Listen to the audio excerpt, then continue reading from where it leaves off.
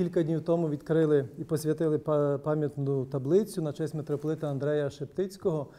І мені здається, що ця таблиця знаходиться в дуже такому знаковому місці, дуже символічному, е, в центрі Києва, а одночасно поблизу є багато інституцій, пов'язаних з історією, духовністю, з культурою нашої держави.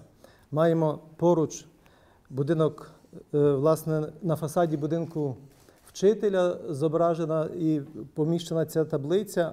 Поруч є е, пам'ятник Михайлу Грушевському, з яким, мабуть, митрополит продовжує в вічності вже свій діалог, який, можливо, не, до кінця вдавався тут на землі. Е, Далі через дорогу є Національна опера. Митрополит Андрей мав дуже багато що сказати діячам культури, інтелігенції нашій.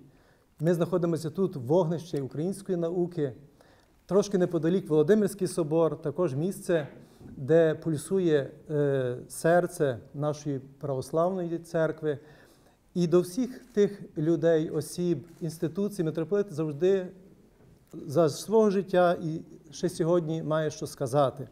З цього багатства його ідей, думок я би хотів заторкнути тільки дещицю, кілька елементів, пов'язаних з його баченням влади, але також з його баченням ролі церкви в побудові української держави.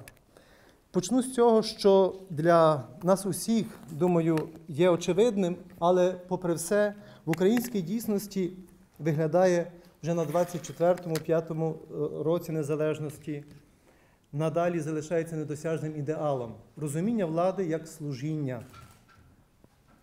Керівна влада, тут цитує митрополита, підкреслює він в одному з своїх послань, має за мету служити публічному добру, зберігати і боронити природні і правильні свободи громадян. І оскільки йдеться про християнські принципи виконування влади, про що ми вже говорили також до обіду, митрополит вказує на Христа як джерело та взірець правильного сповнення влади. Цитую, ті християнські принципи, що відносяться до верховної влади, є тільки в зародку виказані самим Христом Спасителем. І цитує самого Христа. Митрополит, знаєте, що князі народів панують над ними, і вельможі їх тиснуть. Не так нехай буде між вами.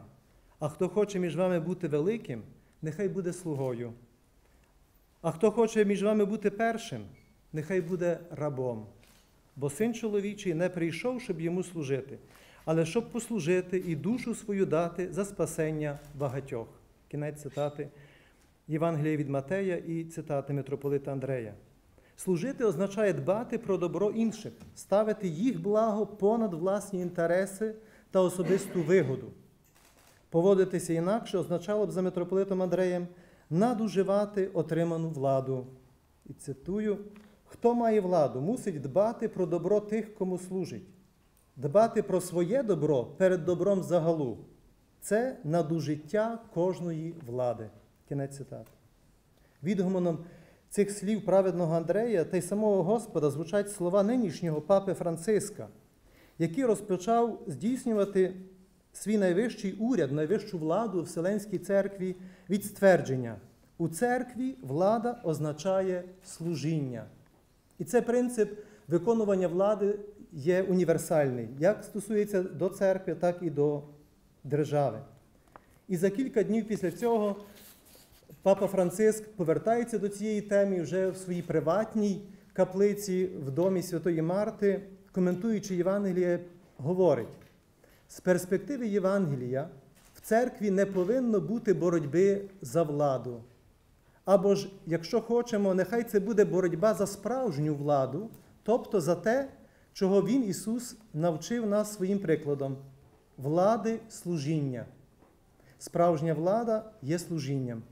Так як учинив це він, що прийшов не щоб йому служили, але щоб послужити. І його служіння стало саме служінням Христа.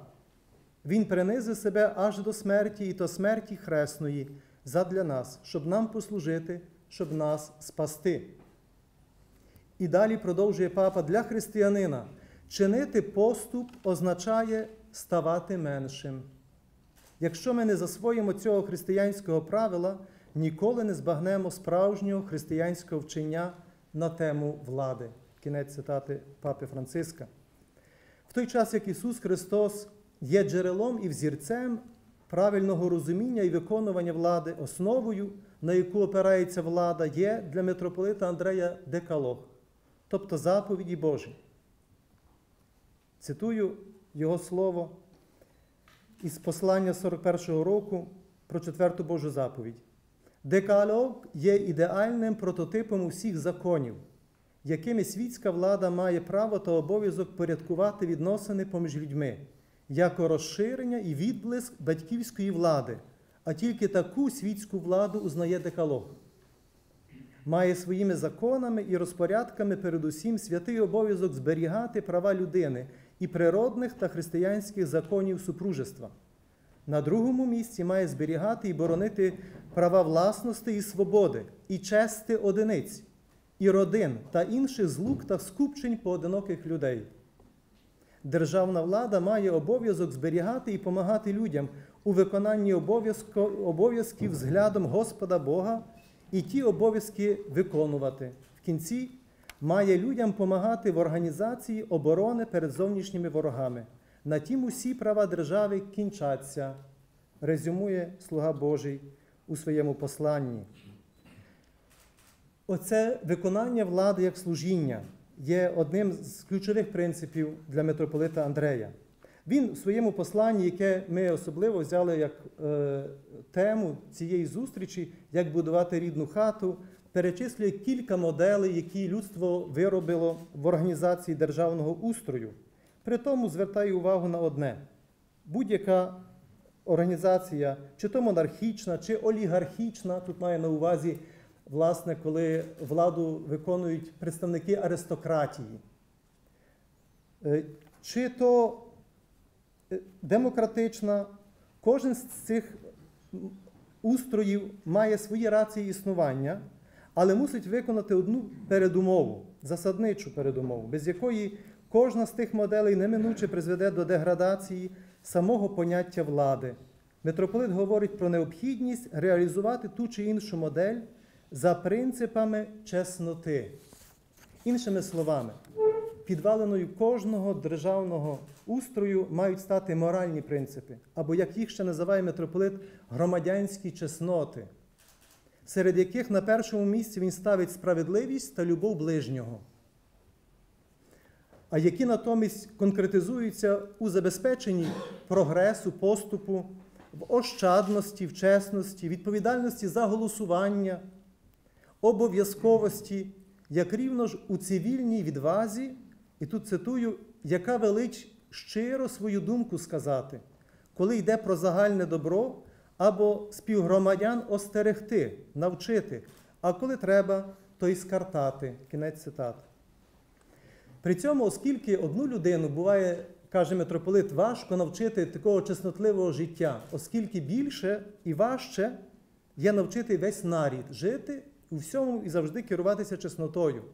І тому він робить висновок, що форма демократична приступна до найзагальніших спокус. Це його цитата. Справді, наша українська дійсність доводить не раз, наскільки важливими є виховання мудрих політиків, яке має йти в парі зі зростом свідомості усього суспільства. На жаль, здається, що суспільство ставить високі і, очевидно, цілком небезпідставні вимоги очікування до можновладців, не будучи часто самим готовим до глибинних змін на рівні власного мислення і власної поведінки. Десь бачив такий е, шар, е, усмішка, коли питалися, хто є за зміни в державі. Всі підняли руку. Хто готовий мінятися, ніхто не піднімає руку. Отже, можливо, спостерігаємо те і в нашій українській дійсності більше завжди е, очікуємо і питаємося від інших. З іншого боку, коли відбувалася теперішня виборча кампанія, і дуже було багато бікбордів в Києві, в тому числі, інколи було вже навіть якось втомливо дивитися на на ці гасла пусті, безпідставні, е, низькопробні дуже часто. Мені прийшла така думка: а хто виховує, вибачте, я прошу вибачення тут присутніх, звичайно, представників влади. Хто виховує наших політиків? Яка інституція допомагає їм зростати до того рівня відповідальності, яку їм доручає народ і Господь Бог? Наскільки вони самі є готові шукати собі помочі, шукати поради, щоб допомогти стати тими, ким хоче їх бачити Господь Бог і суспільство наше. І це, мені здається, завдання і виклик на сьогодні допомогти нашим політикам зростати в чесноті, у відповідальності, у пошані до Божого закону. Коли буде пошана Божого закону, буде пошана і людської гідності, і людських прав і свобод. І друга частина ще про роль церкви у побудові рідної хати. Зверну увагу тільки на два елементи, які, як на мене, особливо проявилися в цьому посланні, як будувати рідну хату. Перше, я би назвав бути матір'ю. Церкву називають матір'ю і наставницею, матер ет магістра. І для праведного Андрея Христова церква є для християн матір'ю. Тому в ній такий Божий відблиск Божого відцівства, Божої до людей любові і влади, говорив він у посланні на тему 4 Божої заповіді 41-го року. Тож у всій своїй діяльності церква покликана об'являти людям своє материнське обличчя, а через нього, власне, отой відблиск Божого відцівства, Божої до людей любови. І ця любов церкви до свого народу в контексті побудови української держави повинна проявитися в першу чергу у тому, що духовенство, на думку митрополита, буде, і тут цитую, з любов'ю служити народу науками, радами і втіхами. Кінець цитати. Втім, перше ніж дати відповідну науку, раду чи втіху, духовенство має глибоко і всесторонньо дослідити реальний стан народу, пізнати його радощі і смутки, сподівання і розчарування. Подібно як окремі святці посідають дар кардіогнозії, серцевідання, так церква, ведена Святим Духом, має просити для усіх своїх служителів дар пізнання серця народу, душі Його.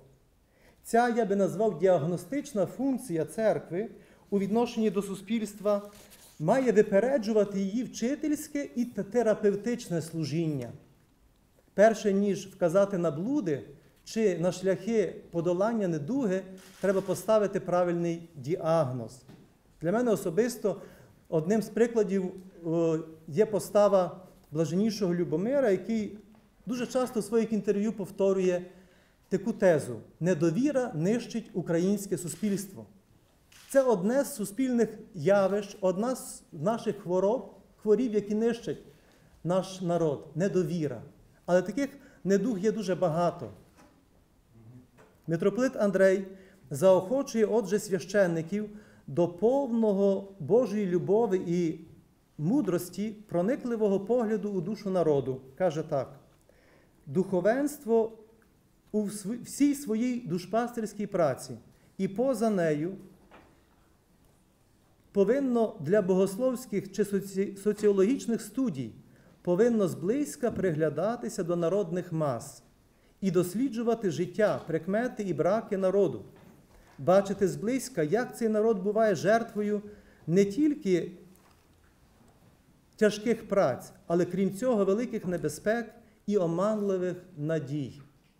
Досліджування народного життя повинно бути джерелом правильного осуду і про те, що тому народові треба в суспільному житті і політиці, себто які суспільні інституції, які форми влади, які закони найкраще відповідають його потребам. Кінець цитати.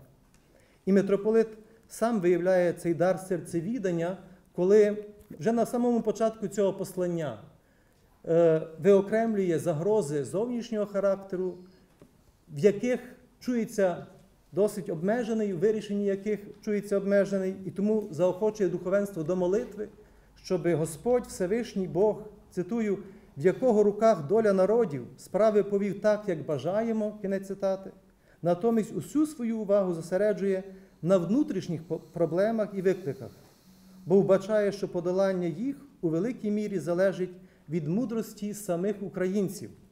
Тож саме розв'язанню цих внутрішніх викликів посвячує своє послання.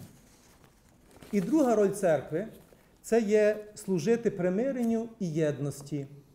Звичайно, коли церква починає вчити, відразу може родитися спонтанне запитання лікарю, чи ти вже вилікував себе самого. І митрополит є цього свідомий. Каже, якщо я щось говорю не тому, що я є свідомий своєї кращості чи вищості, знаємо наші блуди і хочемо щиро над ними працювати. Тим не менше, свідомість власних браків не спонукає митрополита до мовчанки. Він радше хоче починати від себе і, починаючи від церкви, пропонувати моделі примирення, оздоровлення, поєднання всьому українському суспільству. І тому найбільшою раною на тілі церкви це є поділи, роздоли, роздори, розколи. Єдність церкви в Україні митрополитові лежала на серці. Справі привернення єдності українських церков він посвятив без перебільшення усе своє життя. Для нього, і цитую ясно, як на долоні, що рідна хата не повстане, якщо не буде українського моноліту, коли українці-самостійники не зможуть, обходячи всі різниці, які їх ділять, завести між собою якнайбільшу єдність. Тієї єдності Україні треба, а та потреба накладає на нас усіх обов'язок, і від сповнення того обов'язку залежить майбутнє батьківщини.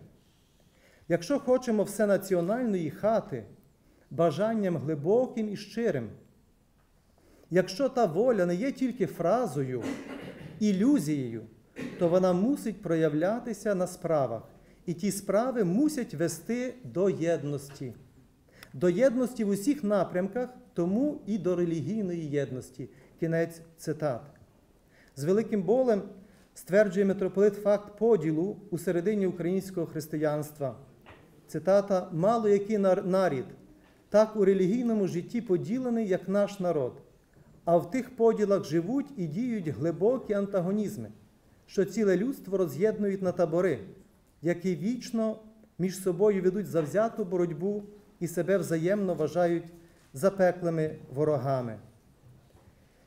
І пропонує митрополит Андрей, звичайно, шляхи розв'язки, подолання отих ран, поділів і розколів. Він є дуже ясний в баченні та однозначний у висловах. Тієї недуги, розколу набрався український народ з обох боків від Візантії і від Москви. Та недуга проявляється у тому, що рідного брата людина, зрештою шляхетна і добра, назве ворогом, коли він тільки іншої думки. Гетеродоксів ненавидять усі розкольники, а ненавидять тому, бо ті несвідомо пригадують їм недугу.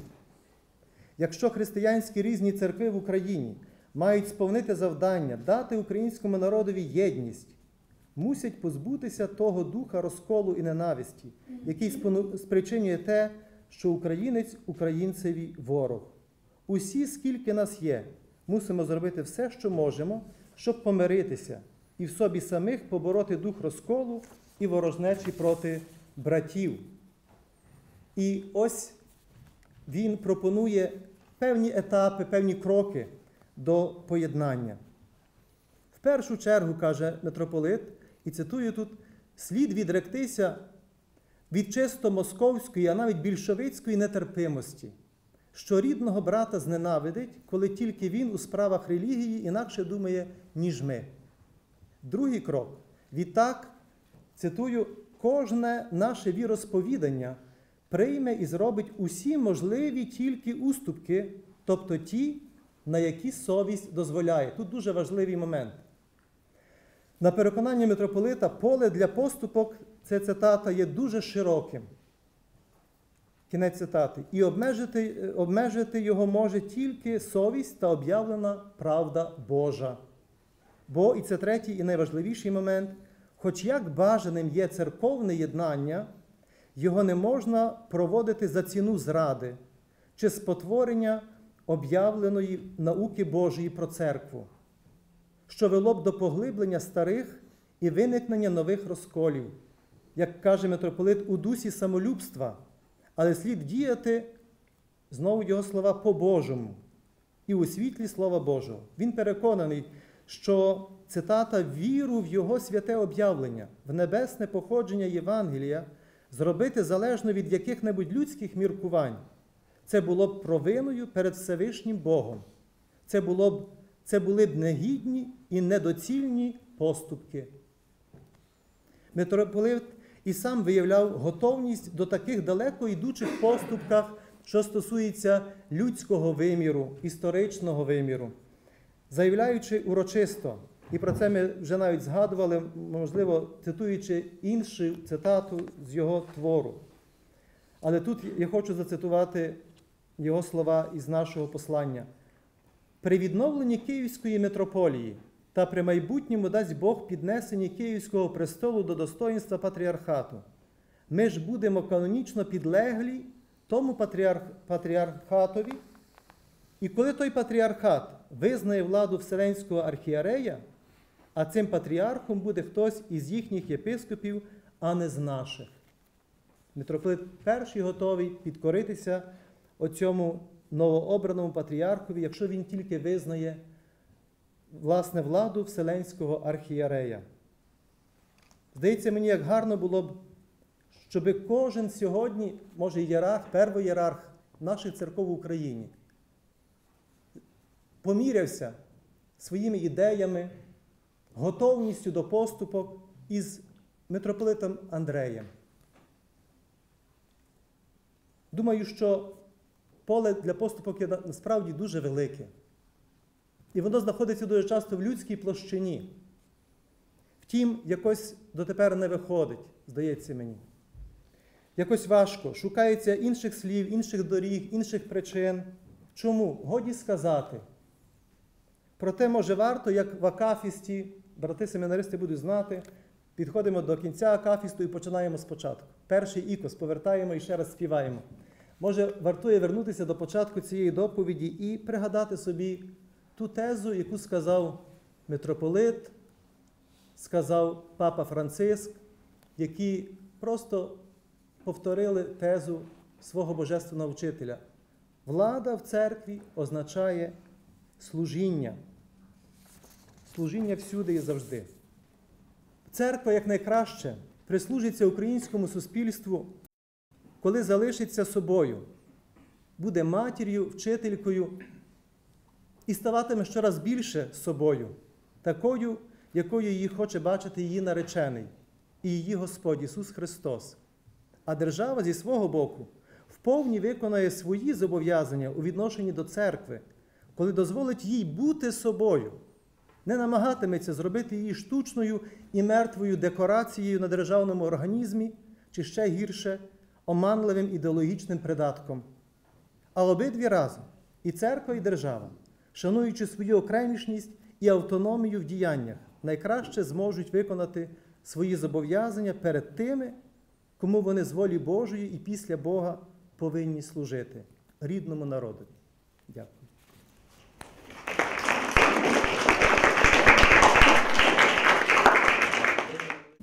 Пані і панове, е, коли е, пан Олег Турій запрошував е, мене взяти участь у цьому круглому столі, він мене напучував прочитати ще раз, як будувати рідну хату.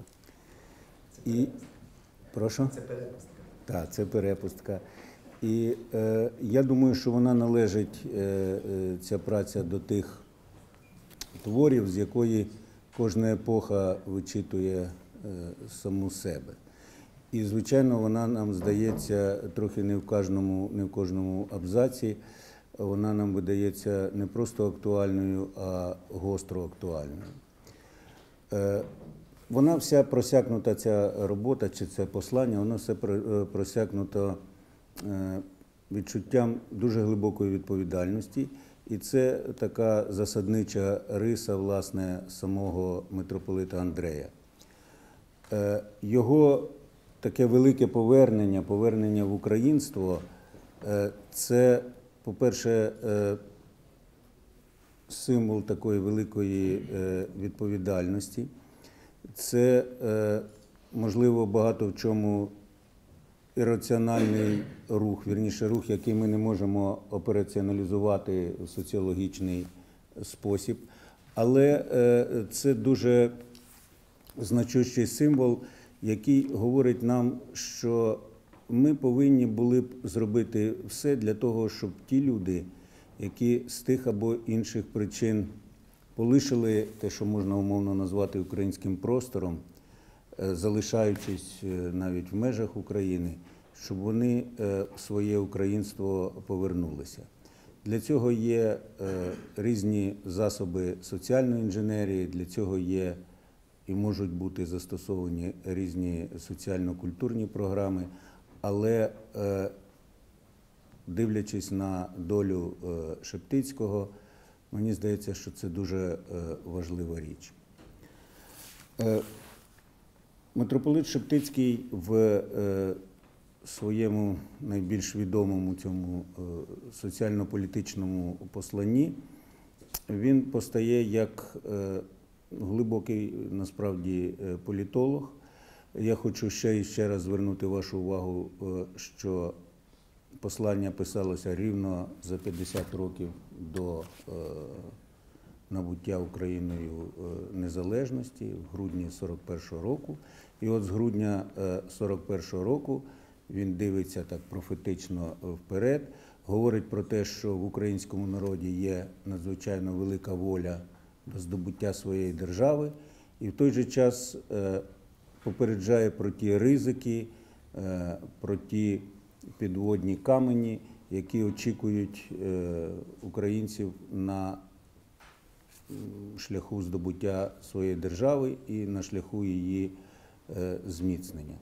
Він говорить в першу чергу про е, партійність, про е, схильність до роздорів, до чварів, до нездатності поставити загальну українську справу вище, ніж справи партійні. І важко, мені здається, зараз говорити про щось більш актуальне, ніж про такий рівень відповідальності, коли з 41-го року митрополит закликає українців і українську е, таку правлячу верству поставити, поставити загальноукраїнську справу вище, ніж е, справи партійні і справи партикулярні. Так само він е, дуже глибоко аналізує, аналізує е, політичні стани, аналізує е, міжнародний е, контекст, в якому опинилася Україна, і говорить про те, що українська держава не може відбутися поза тим, що не зможе себе захистити. Ви пам'ятаєте, що саме йому, церковному діячеві, належать слова про те, що нема такої ціни, яку б Україна не повинна була б заплатити за своє військо і за свою армію. Легковаження цим принципом чи е, ну, цією підставовою річчю дуже дорого коштувало і продовжує коштувати, е, коштувати Україні. Е, Коли я знову е, почав е, перечитувати ці послання е, до вірних і не тільки про рідну хату, я натрапив на послання, яке я якось пропустив. Воно адресовано до буковинців. Воно адресовано до буковинців, датовано 900 роком, і там міститься положення, яке ну, е, ще і ще раз треба подивитися, чи дійсно воно було сказано е, в 900 році.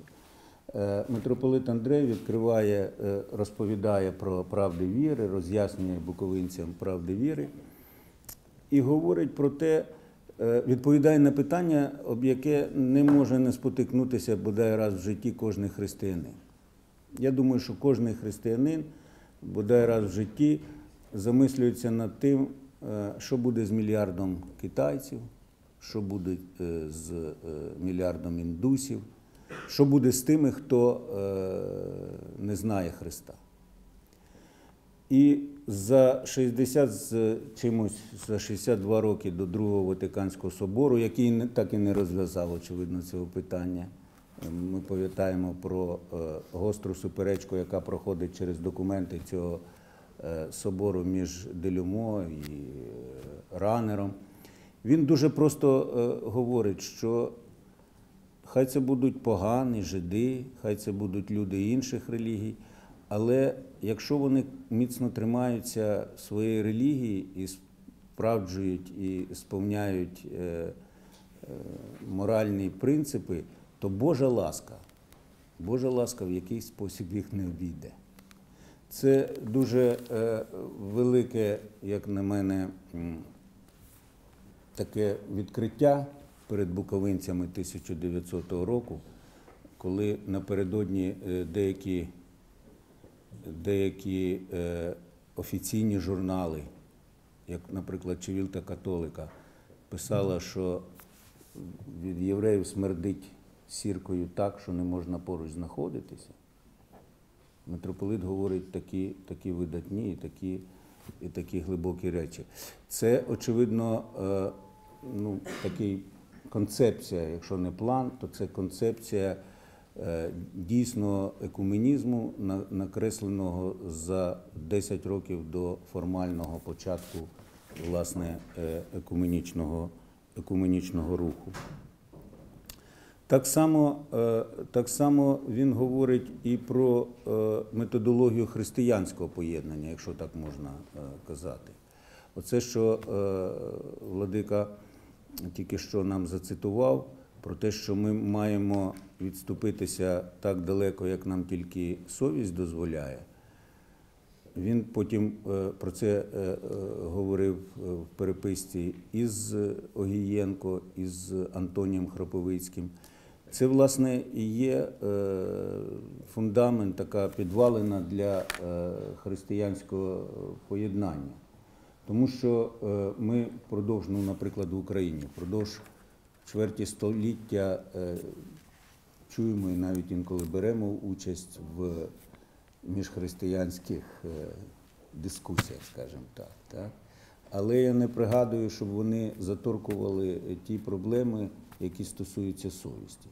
Йдеться про першість за честю, про адміністративні справи, йдеться про діптіхи, йдеться ще про якісь речі, але ніколи не йшлося е, про дійсно ті речі, які стосуються, стосуються е, совісті кожного і стосуються дійсно тих речей, які складають е, ядро віри. Пан В'ятрович е, справедливо казав, що е, чи не найбільш яскравим вираженням участі церкви, верніше е, взаємодії церкви і громадянського суспільства були події, події на Майдані.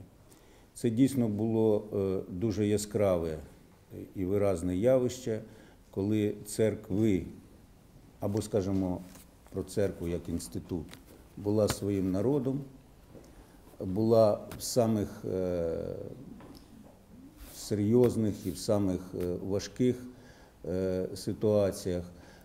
В деяких моментах навіть це ще належить описати. Я, наприклад, завжди пригадую, і про це мало говорять, що саме церква намагалася налагодити, налагодити переговори, перемовини між е, владою і е, опозицією. І прямо от е, Блаженіший був тоді присутній, коли Рада церков примусила опозицію йти на переговори. Відразу після того, як пролилася кров. 25-го це було січня минулого року. І е, опозиція сказала, що е, вона не може піти на ці переговори, тому що е, Майдан заборонив їм. І тоді представники церков сказали, що ми зараз підемо на Майдан, і ми будемо спілкуватися з Майданом і спробуємо роз'яснити, навіщо це потрібно. І вони вирушили, вирушили е, шість священників, вирушили е, на Майдан і один єпископ. Е, єпископ страшно переживав, тому що його могли цілком освистати. Так? І він спитав присутніх, а, і він чекав, поки, поки зійдуться люди з барикад, тому що ті, хто керував сценою, сказали йому, що тут зараз субота, тут кияни, їх легко е, мовити. От ви мовте тих, хто стоїть на барикадах. І дві з половиною тисячі людей підтягнулися з барикад, і владика Станіслав спитав, чи вони вірять в Бога. І попросив підняти руку е, тих, е, тих хто вірить в Бога. І е, потім почав говорити про необхідність припинення кровопролиття. Це, це була одна з. Просто я про це чомусь згадав, тому що про це ніхто, ніхто е, раніше, раніше не згадував. Але було, були такі е, моменти, які дійсно, е, дійсно підтвердили те, що е, церкви України, яким на початку, наприкінці 80-х, на початку 90-х років пророкували трохи не війну на релігійному ґрунті, знайшли не просто спільний порядок денний і не, не тільки спільний запит до е, влади, але й знайшли е, необхідну тональність в розмові з е, суспільством і, власне, стали частиною, е, хоча у церкви інша місія, вірніше не інша, а є своя е, місія неповторна, але вони також стали е, частиною громадянського суспільства. Можна е, перелічити велику кількість ініціатив, виступів, е, які здійснили церкви впродовж, наприклад, е, 2013 року, е, ще напередодні Майдану, що стосувалося євроінтеграції, що стосувалося е, справедливості, вибіркового правосуддя, е, що стосувалося, до речі, закону е, Ківалова Колісніченко. Е, Тут є ієрархи, які підписували е, звернення і попереджали владу, що це е, міна під е, підвалини громадянського миру в Україні і багато іншого. Зараз е, е, дуже багато е, дискусій про те, яку, який має бути е, суспільна позиція церков і не тільки християнських церков, а й взагалі релігійних організацій в е, справі е,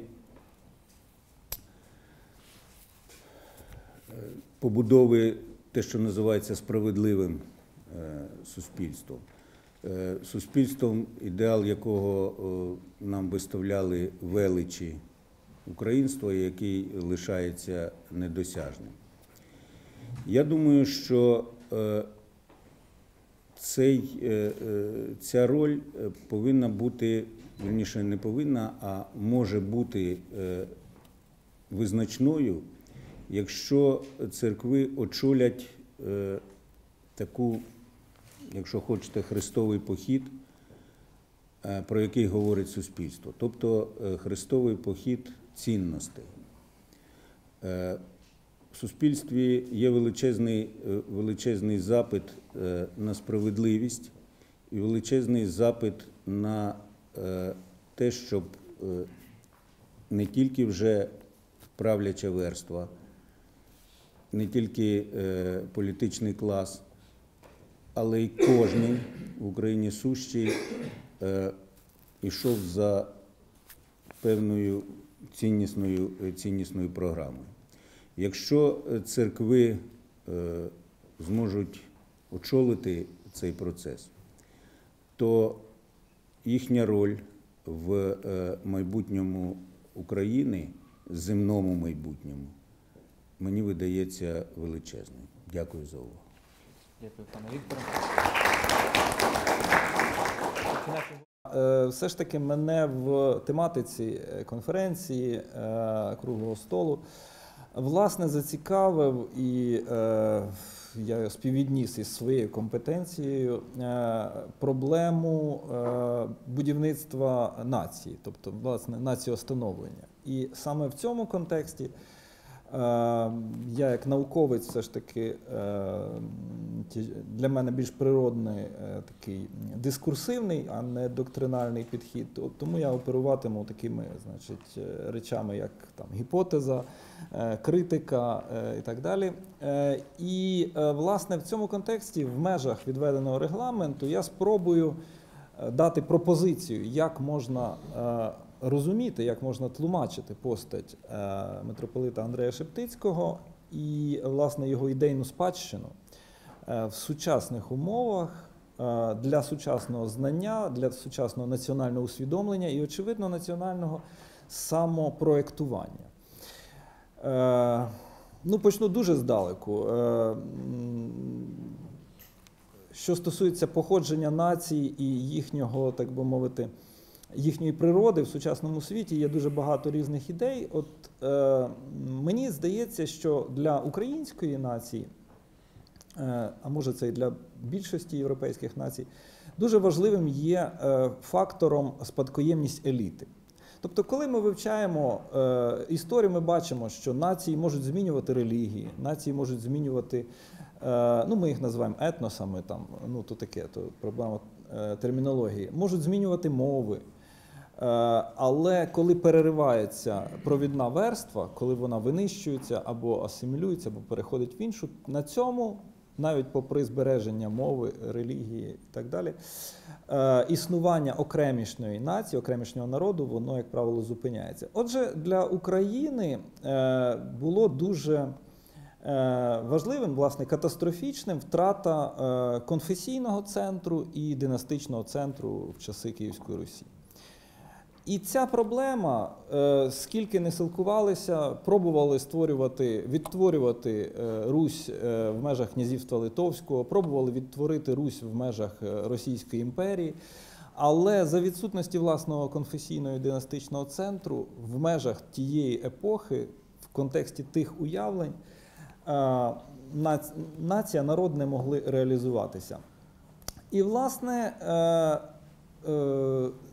тим не менше, провідна верства збереглася. І надалі національне відродження почалося саме з двох осередків провідної верстви, успадкованої від Русі, яка збереглася одна в е, лівій частині, в лівобережній частині України, інша збереглася в правобережній, власне, в Галичині. Тобто, це е, українське козацтво е, Малоросії, так званої. До речі, в понятті Малоросії немає нічого образливого, це як Малопольща чи Мала Греція, тобто це первісна Русь. Е, Отже, це козацтво, яке власне стало рушієм, е, ну, пам'ять про козацтво, спадкоємність верстви е, стали рушієм української революції на Надніпрянщині. Так само спадкоємність греко-католицької церкви, її священників, її значить, вірних стало е, запорукою того, що збереглась, так би мовити, е, ця провідна верства, і е, збереглась традиція від руських часів, і вона знайшла собі шлях до життя вже е, навіть пізніше. Так? Тобто, якщо ми про козацьку частину говоримо з початку 19 століття, про її пробудження, національне самоусвідомлення, то все ж таки е, пробудження греко-католицької е, церкви як суспільного організму, передовсім, як її національне усвідомлення, воно безпосередньо і найтіснішим чином, без- безперечно, пов'язане з постаттю митрополита Андрея Шептицького. Тобто, е, в той час, коли е, велика Україна вже значною мірою втрачала е, той запас креативності, коли власне козацька верства втрачала свої якісь інституційні, світоглядні, ціннісні переваги, які могли бути використані для творення держ... власне нації і держави, в цей час е, на підмогу, скажімо так, просто підійшла інша частина України, інша частина нашої спадщини. пробудилося до українського життя е, греко-католицьке духовенство і, власне, під е, керівництвом митрополита Андрея Шептицького. Як це, ну я не буду детальніше на цьому зупинятися, але хочу зазначити один такий контекст важливий. Що, яка, яка є, е, так би мовити, світоглядна колізія, дуже важлива, яку ми часто оминаємо увагою? Е, Світоглядна, власне, соціально е, структурна, яку ми оминаємо увагу, коли говоримо про справи національного творення, національної свідомості, національної самоорганізації. Це те, що насправді світ живе сьогодні в трьох різних вимірах. Ну, світ це широко сказати, європейське людство, скажімо так, ближче до нас. Е, Це е, традиційна культура, власне, традиційне суспільство, це е, суспільство модерну і суспільство постмодерну.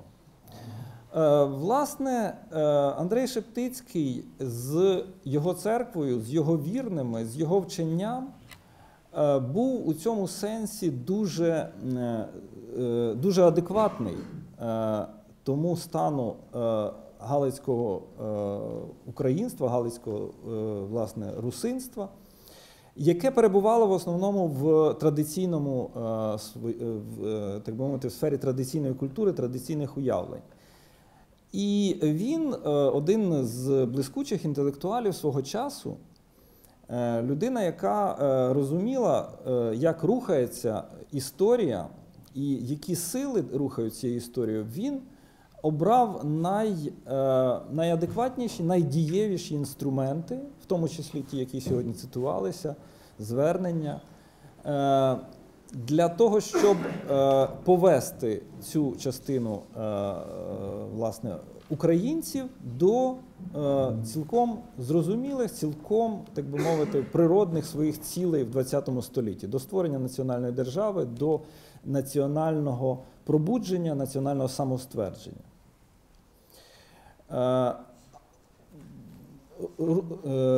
Українці, русинство, власне, в тогочасній е, Австро-Угорщині е, сприймалося як дуже таке консервативне середовище, термін існувало рутенство і так далі. Багато хто сприймав це дуже е, ну, критично. Та? Ми знаємо там Михайла Павлика, Івана Франка, які власне намагалися інші ідеали, власне, ідеали модерну в цій класифікації е, пов'язати з українством. Е, Але в цьому сенсі, е, власне, митрополит Андрей Шептицький виявився більш прозорливий і більш ефективний.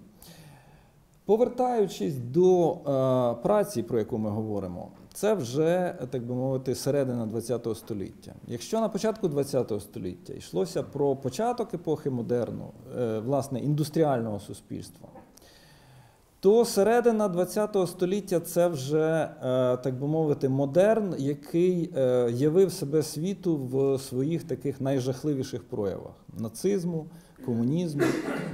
Е, Це модерн, який створив власне, індустрії як такі, які поставили під загрозу, як ми зараз говоримо, екологію, тобто природне середовище існування людини, власне, сутність людини, перетворила людину на гвинтика, загнала людину в бараки, е, підпорядкувало е, ідеологіям, як правило, атеїстичним ідеологіям. Тобто зруйнувало значною мірою цінності, е, світогляд, сам уклад життя традиційного суспільства. В цих умовах митрополит Андрей Шептицький продовжує бути е, лідером національного руху, і він вказує нові орієнтири, він е, шукає е, нові формули е, національної самореалізації в цих умовах. Е, Він не відмовляється від е, традиційного підходу, від принципів традиційного суспільства, в яку церква інституційно вбудована і світоглядно вбудована. Е, І дуже цікаво, що в цьому своєму посланні він е, фактично наводить е, ту саму формулу побудови демократії, до якої ми сьогодні приходимо. Власне, демократія через самоорганізацію на рівні громад, на рівні професійних та інших форм соціальної організації, власне, структур громадянського суспільства, як ми це зараз називаємо. І зрештою, можна сьогодні е, ну, визнати його правоту, що це найбільш природний шлях е, модернізації, з, що називається в гуманістичному сенсі, без тих викривлень, без тих е, катастрофічних наслідків, які несе модерн в його таких гротескних формах. Що ще важливо зауважити з власне не лише з цього послання, й всіх інших, про те, що, е, звісно, в жодному своєму, е, в жодному, в жодної, в жодній своїй тезі митрополит не ставить під сумнів те, що е, український народ і українська держава це всі українці. Попри те, що греко-католицька церква вона локалізована, попри те, що вірні її складають більшість в певному регіоні, але в жодному місці не говориться про якусь окремішню, окремішню е, Україну, меншу, ніж ту, яка є е, традиційна і всім нам відома самостійна соборна Україна. Тепер, що стосується сучасного погляду і сучасного розуміння, повертаючись до першої тези про е, ось ці, цю суперечність між традиційною культурою, між модерном і постмодерном, оскільки постмодерну в часи митрополита Андрія Шептицького ще не було, а в наш час вже він є. І е, недавня дискусія навколо виступу Ірини Магдиш підтвердила те, що постмодерн у нас існує, і він е, в галицькому суспільстві, в тому числі, доволі поширений, можливо, більше вже навіть поширений, ніж соціалізм часи Івана Франка і Михайла Павлика. Е, ці колізії вони природним чином виникли, і сучасне суспільство треба розуміти як таке, що є багатоукладним. Тобто ми стали свідком того, що модерн, ну одні кажуть, завершив своє існування, інші кажуть, продовжує в якихось формах, але в усякому разі пережив свою кризу. Е, Модерн втратив привабливість значною мірою і е, припинив свій розвиток. Тобто, е, е, наприклад, Росія вона повертається до модерну в його радянському вигляді, в ідеологічному контексті. На Донбасі ми маємо реакцію модерну індустріального суспільства значною мірою. Окрім усіх інших аспектів конфлікту на Донбасі, його провокативної природи, світоглядної, таке інше, це, окрім усього іншого, це ще повстання модерну, повстання індустріального суспільства проти нових умов, нових правил, нових е, вимог суспільного розвитку. Так от, як в цій ситуації, коли е, є криза модерну, коли значною мірою на значній частині території України зруйнована традиційна культура і традиційний спосіб життя, і традиційний світогляд, е, а натомість е, в значної частини молодшого покоління превалюють цінності і світогляд е, постмодерну, як в цих умовах може бути нам е, корисною, як в цих умовах може служити справі національного відродження і національного розвитку, утвердження держави в тому числі, ідейна спадщина митрополита Андрея Шептицького? Як на мене, доволі значним чином, оскільки з кризи модерну є два виходи. Або в е, постмодерн, як цим шляхом іде Європа на сьогоднішній день значною мірою, це плюралізм, це е, політкоректність і так далі. І так далі. Е, Це е, багатоскладове суспільство, яке об'єднується перед, переважно принципом толерантності, але спільних якихось е, значить, е, устремлінь, е, ідеологій, все інше, що було властиво модерну, воно вже немає. Або інший є шлях це шлях повернення до архаїки.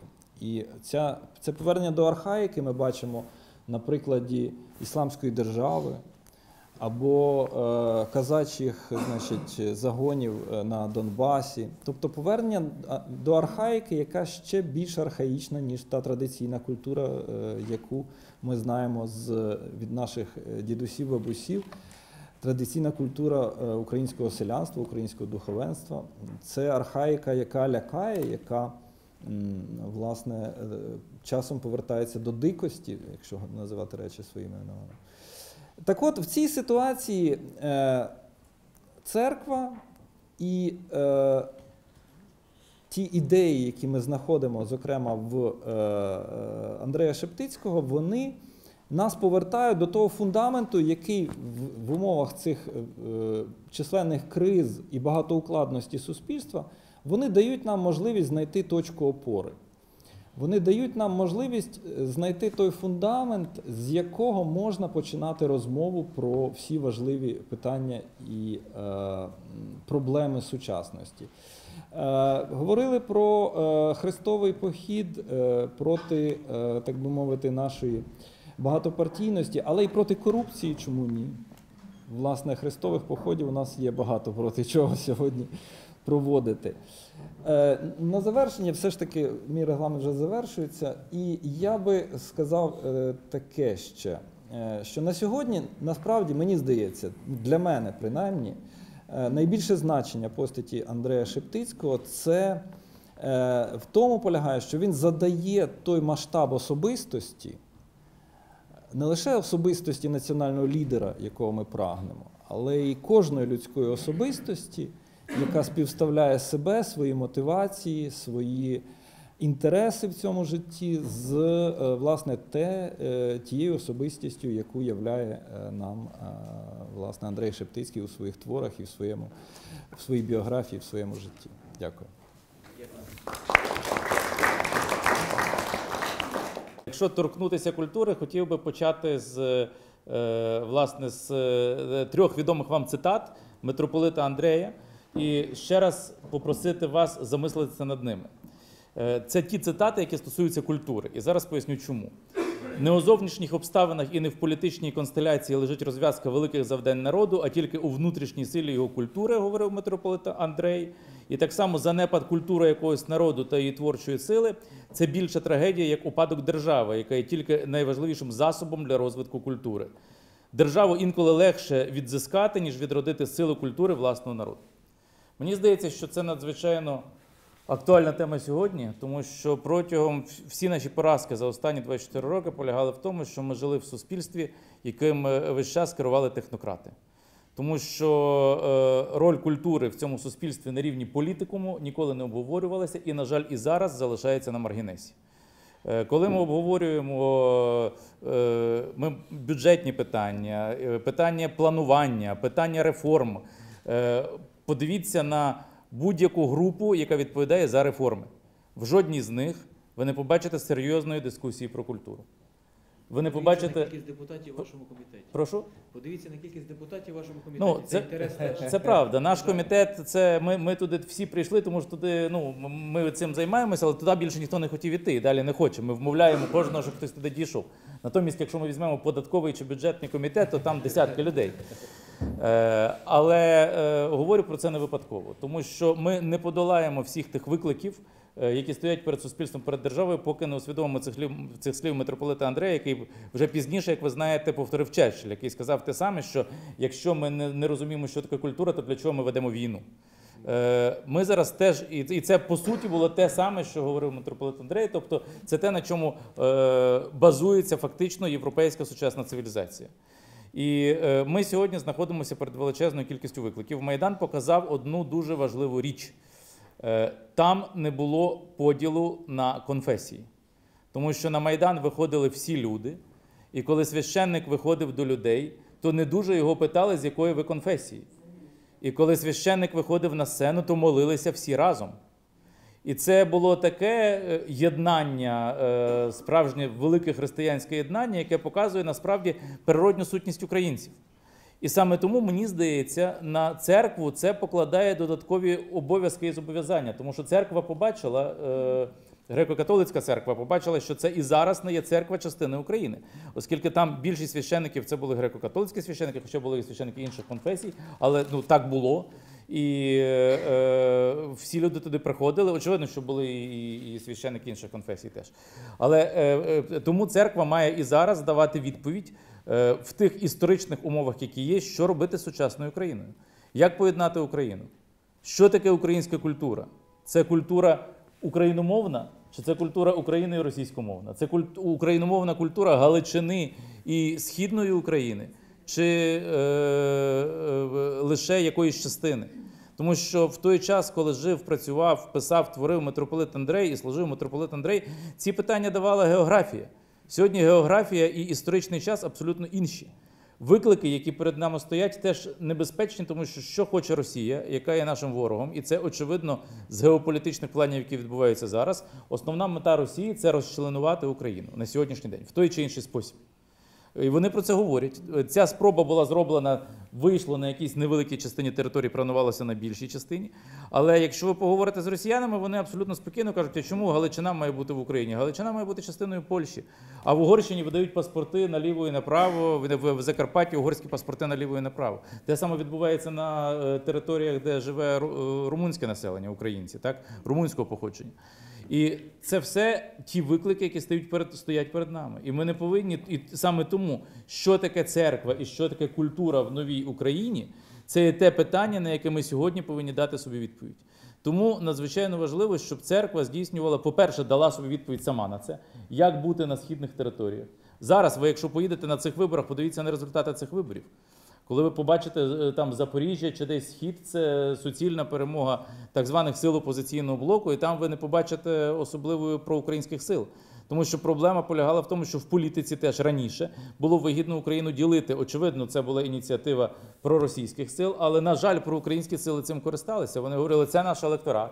Так само, як деякі церкви казали, це наші вірні, нас тут підтримують. А та частина ми віддамо іншим для того, щоб протиставляти, може, ці дві чи декілька частин і концентрувати свою цільову групу навколо себе.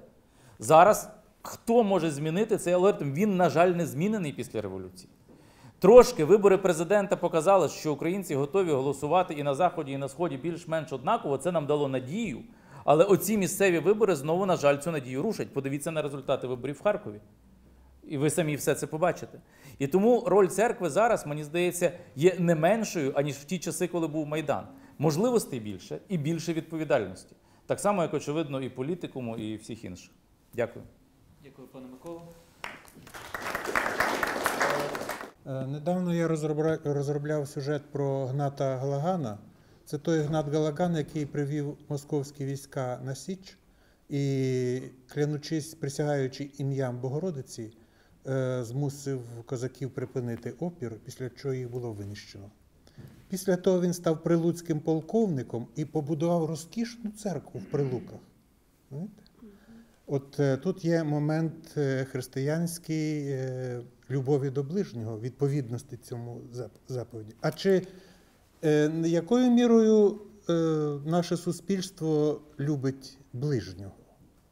От дивіться, ми говорили сьогодні о квесті соціальній. Насправді в Україні побудовано потворне соціально непропорційне суспільство. Тобто, ви можете сьогодні е, пограбувати е, вкладчиків у будівництво кількох будинків, е, чи там, скажімо, зробити банківську шахрайську операцію, теж пограбувавши вкладників, чи щось подібне, чи мегамасштабну якусь е, е, аферу, а потім ви будуєте дуже гарний храм, ви можете навіть одержати е, церковний орден, вас благословлять і подякують за ваш внесок в церковні справи. Я думаю, що тут е, має бути принцип вимогливості церкви до жертводавців і адекватності е, діянь, бо вони можуть бути несумірними за наслідками руйнування суспільства як такого. Це одна теза. Друга теза. Так склалося, що от в нас наше суспільство ну, все-таки мусить визнати, що е, це є українське суспільство, Е, але в ньому всі не етнокультурні українці мають ті ж самі права, що й українці. Але воно мусить визнати, що це не тільки багатовизнаннєве суспільство, а суспільство, в якої є дві е, чисельні конфесії. Одна це православні, і друга це греко-католики. Е, всі решті конфесії конституційне право мають ті ж самі. Але це треба визнати е, як е, історично важливі конфесії. Тепер так склалося дуже якось е, при всіх суперечностях, що ні Українська православна церква Київського патріархату, скільки б там хто не розказував в 90-ті роки, що це начебто є державна церква, що вона опікує, користується підтримкою держави. Це не є державна церква. От вона суверенна церква. Так само і греко-католицька церква, тим більше пройшла всі складні випробування. Це не є державна церква. І слава Богу, що це не є державні церкви. Це означає, що вони можуть посідати власну суверенну позицію, так скажемо, великого вихователя суспільства. І того, хто каже правду, а воно потребує, бо це суспільство не любить ближнього, починаючи від дрібниць, починаючи від взаємин і е, між людьми, і кінчаючи відносин між правлячими елі- елітами. Я хотів помилитися кліками, але вчасно поправив себе. Елітами, е, і будь, у нас же ж немає партій політичних, у нас є е, зграї змовників. А вони ходять е, до священників і розказують про свої благородні християнські наміри. І слава Богу, в цьому сенсі, що наші церкви не є державними. Тобто вони можуть на цій підставі, вони не виконують замовлення державного. І в цьому сенсі Україна за цим параметром, крім низки параметрів, різко відрізняється від Росії, де церква завжди була господствуючою і первенствуючою. І нині церква виконує пряме державне замовлення е, здійснення окупації України.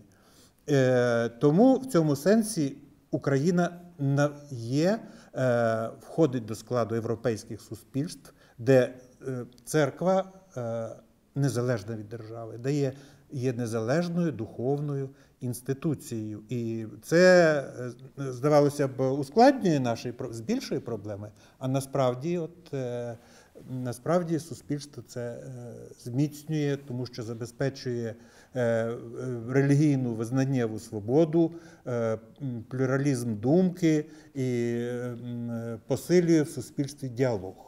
Тільки треба інша справа, що треба, щоб і державні мужі усвідомлювали цінність все-таки національних церков, тих церков, які поважають народ, який тут живе тисячоліттями, його традиції, його духовність, набутки.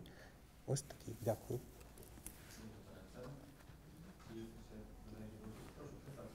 Я представник громадськості, громадська організація Всеукраїнська, інтелектуальна Україна. Я є президент Тетяна. Знаєте, сьогоднішній день нас говорить про те, що війна не закінчилась. Ми це розуміємо вчорашнім прикладом. І розуміємо про те, що відповіді, на жаль, в чиновників немає. Яка концепція, яка стратегія, щоб згуртувати народ, щоб підготуватись до дуже страшного випробовування, яке нам випало на, на нашу долю. Україна опинилася в епіцентрі світової кризи. Але як ми вийдемо з цього принизливого стану, залежить тільки від нас сьогодні. І тому, пройшовши Майдан, а до цього оранжевий Майдан, і в мене Бог прислав до моєї сім'ї 15 чоловік греко-католиків жили на Червоноармійській, діти греко-католицького батюшки з ем, Моршина, Роман і його дві доньки. Дуже гарні люди були.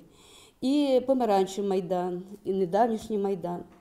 Говорить про те, що нація формується, але, на жаль, вона йде на випередження, а чиновники, влада чиновничі, бо влада то ми, не розуміють про те, що сьогоднішній день потребує дуже високого розвитку, розвитку на принципі єдності, то, що сьогодні говорили. І великий Агустин Аврелій дуже давно сказав про те, що саме головне єдність, другорядна свобода, а все інше любов. І продовживши, що до істини шлях єдиний через мудрість, він мав на увазі, мабуть, те, що весь народ має бути дуже мудрим, щоб зрозуміти цю істину. Але, на жаль, говорячи світською мовою, бо я громадськість, не втомлена від інтелекту Верховна Рада, не втомлені від інтелекту міністри, не розуміють, що об'єднати народ можна тільки біля правди. І коли наша громадська організація написала листи до всіх представників всіх християнських конфесій класичних, і до вашої святості, але ви тоді були відсутні в Іспанії, і до Філарета, і до Макарія. Майже всіма спілкувалася з вами дуже короткий термін. Е, Ми говорили про те, що духовний зупинить війну, врятує світ. Але сьогоднішня правда абсолютно це тільки Бог, як вищий розум. І об'єднати його біля правди, біля вищого розуму, може тільки церква. Бо вона не має ні фальші, ні імітації. Там фальш зразу чути. Так само, як і в класичній музиці, в любій національній культурі, яка на сьогоднішній має домінувати. Микола говорив про те, що культура і духовність такі проекти зараз державно якось започатковані, але якось тут трошечки дисгармонія якась звучить. Коли прем'єр-міністр говорив про е, розподіл бюджету, він сказав такі слова, дослівно цитую політиків завжди, щоб не звичайно звинувачили мене. На культуру у нас грошей немає. Нехай нею займуться меценати. Тому не розуміють, що таке культура і духовність. Дуже важко нам з вами зараз будувати цей фундамент, той, що має мати основу для хати. І тому я дуже хочу просити вас, святих отців, і ваше блаженство. І ми зверталися з Філаретом, ми вже неодноразово говорили. Сьогоднішній день національну культуру нашу десь глумляться над нею. Вона має величезні е, вимоги зараз до неї, щоб вона гроші заробляла, не даючи їй приміщення. Чому про культуру зараз ми будемо говорити? Ем, Андрій Шептицький був дуже багато років назад посадив 500 чоловік за один стіл, коли спілкувався після концерту е, з Кошицем. Ви знаєте, що це геній пророк, який об'їздив весь світ, 44 країни світу, і він показав світу Україну через сакральну музику, через канти, які вперше світ почув. На базі псалмів з допомогою національних мотивів, коли е, писали журналісти про це явище, вони говорили, чи ми в церкві, чи ми в самого Бога. Що це за нація з такою високою культурою, з такою високою духовністю. Тому проєкт, який ми запропонували, ми писали дуже багатьом і депутатам, і партіям. Жоден не дав жодної копійки. Ми писали про духовність.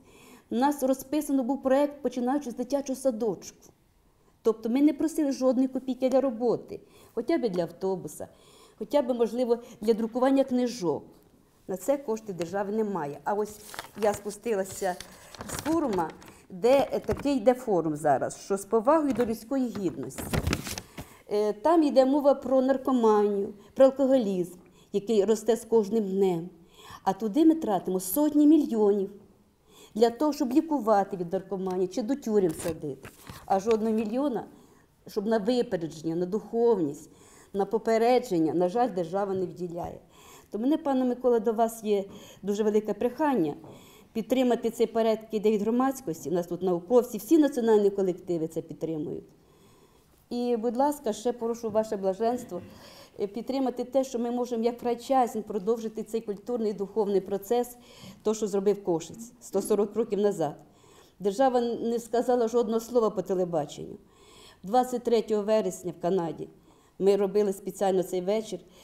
Було 140 років дня народження і було поховання. Коли хоронила Канада Кошицю, прийшли сотні тисяч людей. Канада говорила, що такого ще не бачила, як хоронять чужинця. А тільки в Тарасівці, де я була, є маленький пам'ятничок, збудований на кошти селян. І я вам скажу, як музикант, досить фаховий. Там люди співають партитури в селах. От там є культура, бо там є приклад. Тільки на прикладі будується духовність. І тому я дуже вас прошу, мої рідні, мої отці, ваше ваше блаженство, не чує держава, що на сьогоднішній день депресія, що 85% людей перебувають в стані скритої, відкритої агресії. Якщо є науковці в залі, після цього йде депресія, деградація і смерть. 5-10 років, і навіть якщо Путін не буде продовжувати війни, нас просто як нація не стане. Тому, читаючи такі мудрі книжки, бо ми мусимо зараз читати історію. Кошиці, до речі, пам'ятаєте, по батьківській лінії були всі священники, по материнській козацтво. Козацтво надзвичайно було мудрим. Вся його будова була патріотизму на духовності, на вірі в Бога. І тому і лікували, і були школи. І їх приклад абсолютної правди був оправданий. Сьогодні тільки церква є прикладом правди, а здебільшого імітація, на жаль, і фальш. Тому, вибачте, можливо, за емоції, але громадськість дуже хоче допомогти зараз своїм людям. Тому ми люди вже з такого і похилого віку розуміючи про те, що ми не знаємо причин, дуже багато хвороб є, науковці говорять про те, тому що в нас немає, в принципі, чесної диспансеризації. Ми не знаємо, чому у нас есобразний сколіоз. Ми не робимо біохімічний аналіз крові. У нас 85% завезено гербіцидів. Чому? Бо нема щоденника сівозмін відмінених чомусь. Пане депутате, я до вас, Микола. Ще в тому році був відмінений щоденник сівозмін. Ще оце Верховна Рада наша, а ми, а ми хворіємо. Тому що там страшенний завезена хімія. Це все Китай нас. І вибачте, ми скоро вимремо. Тому що Птицький була геніальна людина, яка розуміла про те, що нація може вижити сама. Сама може вижити, але вона має мати основу, фундамент, щоб будувати хату. І тому, можливо, якісь нові форми. Співпраці з церквою ми готові. Всі творчі колективи, і хор Авдієвського вірьовки, і бандуристи, і оркестр. Всі готові. Ми готуємо програми, канти, сакральну музику, готуємо фестивалі. Нам не дають жодного залу. Палац України запросив 200 тисяч, щоб провести концерт. От така в нас є можливість громадськості. А Верховної Ради велика є можливість, але немає бажання. Дякую.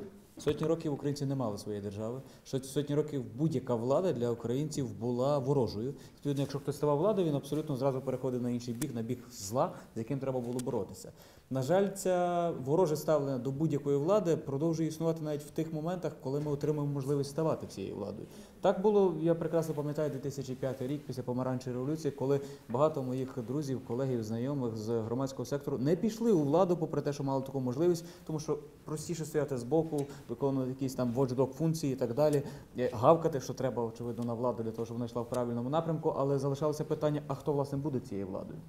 Те, що ми маємо зараз тепер в державі, мені здається, що насправді єдине, що може запропонувати зараз ця слабка українська держава, це те ставати цією державою. Тобто це можливість йти у цю владу. На жаль, знову таки, е, я зараз є державним чиновником близько півтора року, і я не бачу е, великого бажання своїх ровесників е, іти у державну владу, а такі можливості є. І, на жаль, дуже багато моїх знайомих, ровесників е, відмовляються від цього, Не- тому що не в першу чергу не готові брати на себе відповідальність. Тому що в першу чергу завжди краще стояти збоку і критикувати, і е, не брати на себе відповідальність за те, за, за те, що робиться.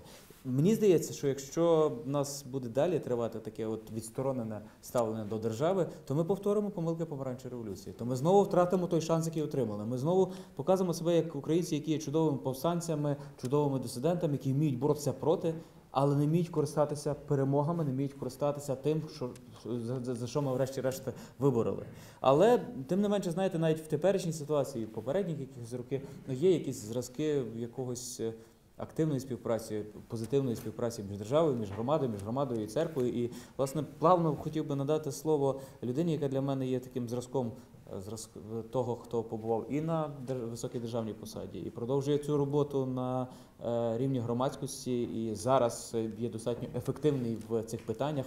Е, І я думаю, що, що, що е, слово би надати Івану Васильовичу Васюнику, який е, бере участь в кількох громадських і державних ком- оргкомітетах, присвячених якраз тематиці е, митрополита Андрея Шептицького. Мені е, здається, що дуже важливо е, все-таки актуалізувати ключові терміни і поняття. Яка ж, ця, яка ж модель співпраці має бути? Яка місія чи функція кожного з учасників цієї, цієї співпраці? І які найефективніші способи у кожному конкретному історичному періоді має, має використовувати кожен, кожен творець держави і учасник її будівництва? Ми, безперечно, маємо в Україні е, одну з найкращих і унікальних моделей співпраці між державою і церквою. Вона вибудована в рамках ВРЦ, і я думаю, що вона найкраща на позарадянському суспільстві. А разом з тим, я виходжу з того, що вона не актуалізована, що вона, як і багато інших суб'єктів е, української держави, є не применшуючи її ефективності. Е, на ній є відбитки з практик, з практик минулого. А я наголошу перед тим, як ніби конкретизувати деякі речі, що корінна причина насправді криється в тому, де, де ми є, в якому стані українське суспільство і держава, в загальному стані і всіх громадян, нації як такої, церкви, еліти, а як наслідок цілої держави, головну частину інститут, інститутів, якої ми практично на кінець 13-го року втратили, і це є факт. І не факт, що, що більшість з них є в стані відродження. А е, цей стан загальний, як на мене, можна охарактеризувати як наявність такої, її можливо логічно важко пояснити, спроможність е, нації до мобілізації супроти загрози втратити державу. Революції, війна. Е, Я думаю, що мало є е, на, на, націй, які можуть практично змобілізуватися супроти агресора, відчуваючи загрозу, загрозу втратити і перемогти. На відно, але я наголошу, перемогти супроти явного ворога і на короткі дистанції. На превеликий жаль, жоден із суб'єктів не володіє на цей час спроможністю формувати чи такою спроможністю будувати, власне кажучи, свою державу, перефразовуючи митрополита Андрея, на довгу дистанцію. А це показує практика останніх півтора року. Насправді, коли ми візьмемо сфери, які в тій чи іншій мірі об'єктивним чи суб'єктивними факторами перебувають під те, що ми називаємо зовнішнім управлінням, дипломатична воєнна сфера, скажімо, або сфера, яка стосується зовнішнього фінансового бо- бо- боргової ями України. Там, де є, де ми є в сфері зовнішнього управління, ми маємо безперечні успіхи. Ми зупинили агресора, ми відбудували армію, ми створили світову коаліцію, як Україна, і, і всі, всі учасники до цього причетні, без, е, безперечно. І ми уникло, уникнули фінансової катастрофи держави, а це один, з- один так мовити, з атрибутів держави. А натомість, якщо ми а, почина, почнемо зараз, що я не буду робити, аналізувати, а що ж сталося за півтора року, які ми маємо ре- Я не критикую державу, це, це не, не в тому стилі, про який мав на увазі Володимир Михайлович. А що ж ми зробили самі? Видно, що мало успіхів. Вже, вже лінивий не критикує, візьмемо так звану а, корупцію чи антикорупційну політику. Лінивий вже не критикує е, центральну державну владу. Але по суті, е, світ, світова спільнота поставила перед нами це як тест зараз. Або ми спроможні це подолати і утвердитися як державу, як держава, або ми не, або ми не спроможні. Нам допомагають. Але якщо, якщо в даному випадку ці всі три суб'єкти не сформують, по-перше, не, не зрозуміють, що рівно на кожному лежить ця відповідальність, не сформують зовсім іншої актуальної моделі співпраці відповідно до цієї проблеми і ряду інших проблем, бо насправді проблема корупції це проблема винищення духовної сфери, це, це, проблема, це проблема моралі, це про, про, проблема просто людяності. Так? І, і, і, а ми ніби десь так ми далі вплинно думаємо, що ну, там політика це така, це, це, не, це, це, це для них, та це не для моральних. Значить, а, а ми, а, а, а вибачте, а церква, а церква може, може, а, ну, може бути такою загальною у цім. Я сьогодні, бо найбільше, що, що зу, зу, зу- ми зустріли, е, наприклад, в останній, от сьогодні я читаю, за, е, за результатами зустрічі святішого Філарета з головою Верховної Ради вийшло дуже гарний, дуже гарний е, прес-реліз зустрічі. Святіший Філарет наголосив владі на необхідність е, активної боротьби з корупцією.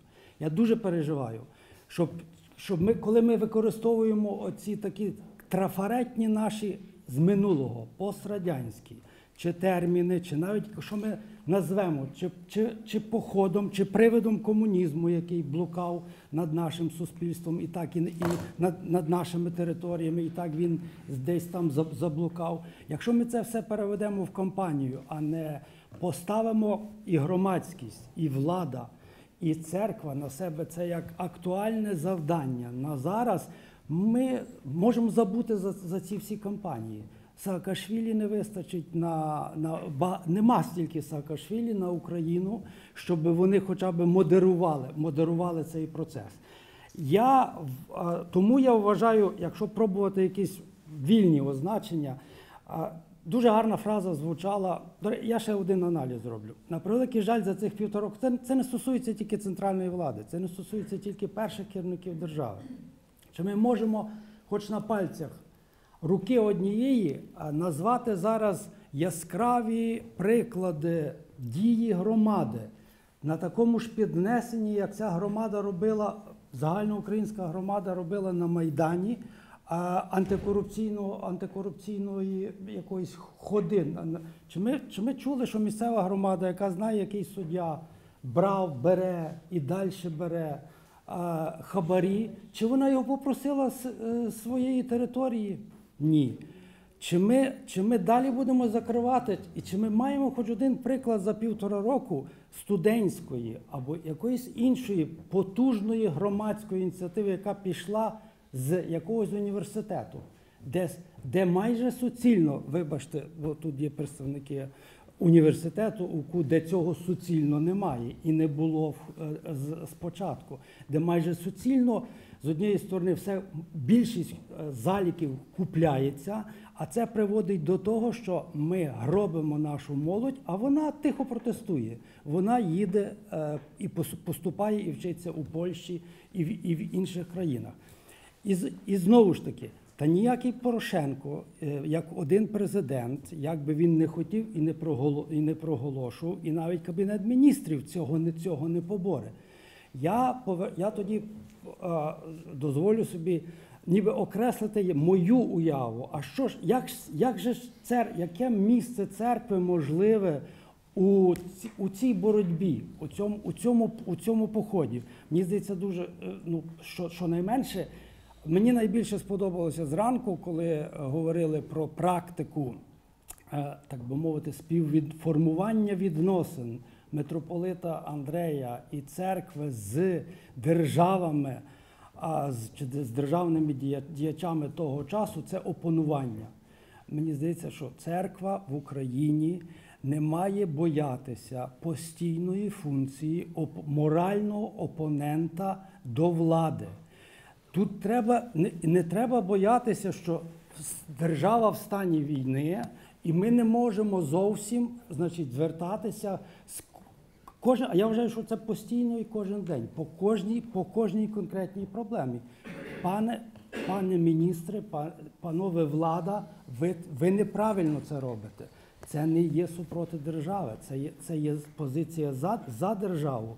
Я не знаю зараз в державі. Я думаю, що важко знайти супроти цієї екранної технології маніпуляції, яку теж держава не може, не може зламати, а більш потужної сили моральної, як структура українських церков. А, але я не чув на, на службах Бож, Божих, е, вибачте, якщо е, можливо десь таке говориться, щоб священники у своїх проповідях називали зло злом. Називали, що платити хабарі в університетах є, є, є погано. Називали, називали інші дуже конкретні речі. Це велика сила, слово священника. Ні, ніяка інша, я ще раз наголошую, структура, як на мене, не може одночасно запустити такий, такий руші- рушій. Це, буде, це була би велика допомога для суспільства, яке, все, яке є неспроможне, бо воно посттоталітарне і постгеноцидне, і це була би велика допомога і підпора для держави. Тут, звичайно, можна, можна використовувати і багато інше, не, не тільки пряму структуру. Ми, наприклад, з паном Мирославом є учасниками, пан Мирослав безпосередньо, я маю причетність до, до такої, е, до такої е, ініціативи громадської, ініціативна група 1, гру- 1 грудня, яка була покликана до життя з дуже конкретною функцією. Е, Теж був історич, історичний ніби крок е, з спільним зверненням глав трьох церков. Таких в історії України 23 років, здається, ще одне є, коли глави трьох церков підписали таке спільне звернення.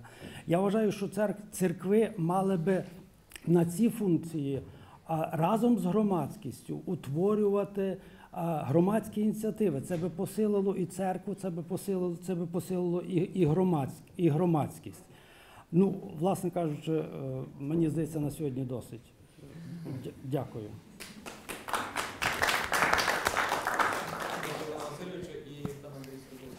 Е, Якщо можна пару коментарів з, е, точки зору діаспори, я тут не говорю очевидно офіційно, офіційно ні в імені діаспори, ні в імені Українського патріархального товариства. Ем, Але ми, очевидно, маємо трошки іншу перспективу тут, і ми добре розуміємо, що наші умови є взагалі інші від ваших, що, що у вас є ситуація, якої важко нам собі навіть уявити щодо навіть щоденного життя. Е, Отже, е, ми не можемо вам якісь там рекомендації дати, бо ми просто не маємо того розуміння. Е, Однак деякі такі спостереження. Очевидно, що ем, пана Ващуника ідея тут, е, що церква е, як опонент влади, я думаю, ми вважаємо, я вважаю, що це дуже, дуже важлива, важливий принцип. Рівночасно співпраця держави і церкви теж є потрібні. Тобто церква е, може виступати як, як співпрацівник держави, але теж як постійний критик, е, лояльна опозиція, можна так сказати. І це була візія, так як я розумію, митрополита Шептицького, і, і вона, є, вона є здорова і правильна, я думаю. Однак треба пам'ятати, що Шептицький жив в іншому, іншій епохі. Шептицький жив в християнській Європі.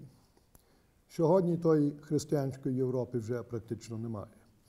І це є важливе. Е, Ми е, тут, е, пан Максим Розумний говорив про такі альтернативи, значить, розвитку з одної сторони е, в сторону плюралізму, толеранції, постмодерн. Ну, постмодерн, е, в принципі, це і постхристиянський постмодерн. А друга альтернатива повернення до архаїзму. Ну, очевидно, ні одне, ні друге не є тут прийнятне. Значить, е, повернення до архаїзму не є ні бажане, ні можливе. Ем, ну, е, очевидно, шлях постмодерну декому може відповідати. Я думаю, багатьом людям е, це відповідає, але е, ні церквам, ні віруючим це не є прийнятний шлях. Отже, що лишається? Зокрема, коли Україна з абсолютно зрозумілих і правильних причин тяготіє до Європи. Хоч мені здається, що та Європа, до якої Україна тяготіє, це є християнська Європа, яка є ідея, ідеал, але не сьогоднішня дійсність. Отже, тут є проблема. Я думаю, е, як, як тут е, як підходити до цього. Ми в діаспорі теж досить критично дивимося на ту тенденцію, яку ми спостерігаємо в Україні. е, Чекати, щоб хтось там згори щось нам зробив. Чи то держава, чи то церква, чи то ієрархія, чи хтось інший. Ми вважаємо, що це, ну, це просто нікуди не веде. Е, Дуже важливі є ініціативи знизу. Ну, Майдан це був прекрас- прекрасний приклад. Е, Тут пані говорила про діяльність парафіян, е, які просто плекають церковні традиції. І мені особисто здається, що це може є найкращий такий, е, така ж розв'язка, найкраща відповідь на ті всі проблеми, є, щоб миряни, самі миряни відновили ту християнську культуру.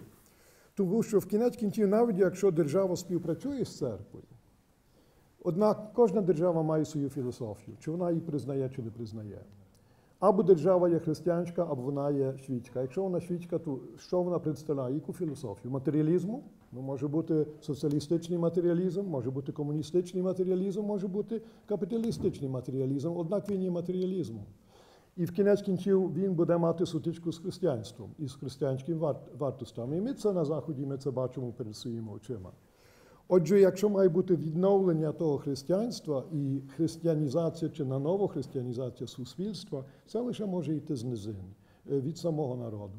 І так як наш досвід показує, це найбільша надія, це власне миряни, самі віруючі люди. Дякую.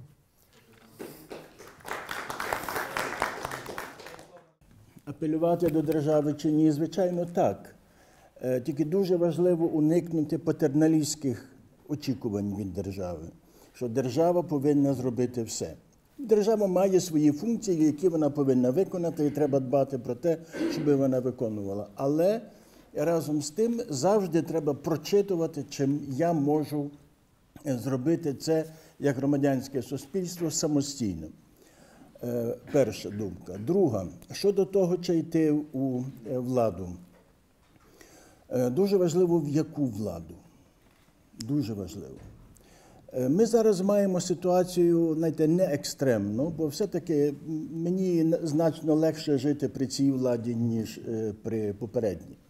Але я пам'ятаю ілюзію Левка Лук'яненка, який в 60-му чи якому там 59-му році вирішив, що я піду в партійні структури з тим, щоб звідти міняти систему і робити добро. Ну, чим це в випадку Лук'яненка закінчилося, ми знаємо. Отже, може і це не спрацювати, тому що це випадок молодого вина у старій міхи. Е, Цей, е, цей шлях може бути успішним лише в тому випадку, якщо це йде команда, яка може утворити всередині старої системи нову систему е, управління. Якщо вона цього не робить, в неї є два виходи: або її система переробить під своє, або її виштовхне. Це є правила структуралізму, і, на жаль, тут вони діють. А тепер те, власне, де, де наша надія. Подивімося, як діє Ісус. Е, Суперечка Ісуса з е, Юдою. Юда хоче, щоб Ісус став царем, щоб Він пішов на гору, і щоб Він згори міняв суспільство, роблячи нормальні закони. Що робить Ісус? Категорично відмовляється від цього шляху. Іде в саме соціальне дно, до рибалок простих, до людей, які, в принципі, не спроможні керувати країною. Іде навіть, вибачте, до повій. Але він шукає тих людей, які спроможні стати каркасом нового організму ціннісного, нової матриці ціннісної вибудовує на цих людях новий оцей каркас, який потім стає переможний і міняє систему. Отже, е, тут відкривається величезний простір для діяльності церкви. Бо це є Ісусова робота, це є християнська робота збирати людей. Здавалося б, ми маємо е, таку е, сама церква, це ніби, нібито є новим народом. Але вибачте, в Галичині корупція велика і церква дуже потужна. Отже, це суперечність, суперечність, яку ми маємо вирішити, бо інакше, інакше це, є, це є для нас усіх проблема. Чому при високій релігійності Галичини ми маємо все-таки високу корупцію? Отже, щось тут не спрацьовує. Той ціннісний каркас, який би ми мали вибудувати, він ще не вибудований. І от тут в мене є питання до, так мовити, і до тих, хто йде в владу, і до тих, хто залишається поза владою. Чи є ми, чи можемо ми собі сказати, що ми взялися за руки, але не в ідеологічному, не в політичному плані, а в ціннісному плані? Дякую. Да. е, Людмила Филипович теж декілька зауважень. Проблема, яка мене турбує, це своєрідна інерціоналізація суспільства, яку ми спостерігаємо е, останніми роками. Тобто ми очікували, що після Майдану е, проснеться не лише тільки та частина, яка прийшла на Майдан, це біля двох мільйонів, а що нас стане ну, як мінімум 20. Якщо б ми досягли такої масштабності, я думаю, що наше би суспільство вже було зовсім на іншому етапі. Незважаючи на волонтерство, незважаючи на капеланство, незважаючи на те, що проснулися сили в народу, ми маємо зафіксувати, що недостатньо цієї енергетики. І тут особлива роль, звісно, церкви. По-перше, вона має традицію праці з народом, вона прекрасний тренер оцих от внутрішніх задатків, які є в народі. Тому е, мені здається, з боку держави просто-напросто треба дати більше права, більше свободи, більше можливостей церкви реалізувати те, що е, на неї покладено суспільство і очікуванням е, людей. Якщо нам, я кажу, вдасться не 5% оцих от безпокійних, да, які тут зібралися теж, а збільшити цей відсоток, тоді ми досягнемо дуже високих, мені здається, е, речей. Я хочу відреагувати на думку про те, що у нас є чудова модель взаємин між державою і церквою. Я її не вважаю дуже чудовою. І дуже би не зводила її до того прикладу, який навів нам пан Васюник, стосовно того, що от у нас є Всеукраїнська рада церков, на яку ми покладемо всі свої надії, і буде все е, чудово. Знаєте, з часом вона перетворилася на міжсобойчик. Симпатичний, елітарний, ніхто нічого не говорить. А питання: а де за цією от міжсобойчиком, які представлені дуже порядними і дуже високоморальними людьми, церква? Тобто ті люди, які би підпирали, які би несли ті ідеї, які нам сьогодні дає Всеукраїнська Рада, в маси, як то кажуть. От ми повернулися з парламенту світових релігій. От там я побачила, що це не зібрання керівників церков релігійних організацій, а це вже маса підготовлених людей, які здатні до змін, які хочуть діалогу, реального діалогу, які можуть цей діалог провадити. І тому саме американське суспільство, можливо, таке подвижне і динамічне, тому що самі люди втягнуті. У мене внучка в 5 років, вибачте, продає лімонад на е, з розниці, ні, з опту на розницю. Заробляє гроші, щоб збудувати, подумайте, школу в Афганістані. От чи всі наші українські діти здатні продавати лімонад на стакани розливаючи, щоб зібрати гроші, щоб побудувати школу в Афганістані? І ще одне е, зауваження. Е, я думаю, що те, що держава оголосила цей рік роком Андрія Шептицького, це колосальні переміни, зміни, злами свідомості державних службовців. Я собі уявляю, як важко було тим депутатам, які переконали таки наш, як сьогодні сказали, недолугий да, корпус депутатів в тому, що треба. Не А недолугий, який? не обтяжений інтелект. А, не втомлений інтелектом, вибачте. Да, да. Не втомлений інтелектом. Це колосальна е, перемога, це перемога церкви. Але давайте поставимо собі запитання, чи ми вивели Андрія Шептицького на той масштаб, на який він заслуговує. Ну, от присутність нас сьогодні тут, да, кількість. Мені би здавалося, що такі заходи треба було робити в значно більшій аудиторії. Тут, власне, присутні. Ну, я бачу, що тут криза, криза території, криза аудиторії наступила. Я просто до того, що треба згадати, що Андрій Шептуцький е, в нашій свідомості був просто замкнений е, е, Галичиною. Не всі галичани навіть знали його. Я вже не кажу про е, східну Україну. Мене сьогодні запитали. От ми донедавна не знали, хто такий Андрій Шептицький. Там багато чого не знаємо. А давно ми пізнали, хто такий Іван Огієнко і так далі. Андрій Шептицький це люди, людина космосу, це людина, яка знала купу іноземних мов. Його треба обов'язково витягнути із того галицького загомінку, як ми кажемо, і зробити фігурою всеукраїнського, центрально і східноєвропейського значення. Тим більше, що він на це надається. Згадайте, він в своєму, в своєму часі мав інтелектуальні і особистісні зв'язки з дуже багатьма представниками інших націй. Зокрема, він декілька зустрічей мав з, наскільки я пам'ятаю, з Володимиром Соловйовим. Чому б це не використати, е, скажімо, для того, щоб пояснити, що Андрій Шептицький це не просто, вибачте, якийсь націоналіст, невідомо де е, знаходився, а це людина, яка належала всьому світу і мала дуже широкі е, зв'язки. Що стосується нас, науковців, ми готові над цим підпрацювати. Так, і обов'язково я би хотіла попросити не забувати науку, що не лише тільки освіта, там інші е, структури дотичні до, до цієї теми. Наука завжди цікавилася е, своєю історією і буде і надалі цікавитися. Дякую. Ідеали нашого національного життя у цьому трикутнику: церква, влада і громадянське е, суспільство. Я би хотів коротко просто передати своє враження від е, діяльності Всеукраїнської ради церков і релігійних організацій. Ми тут чули різні епітети в її сторону.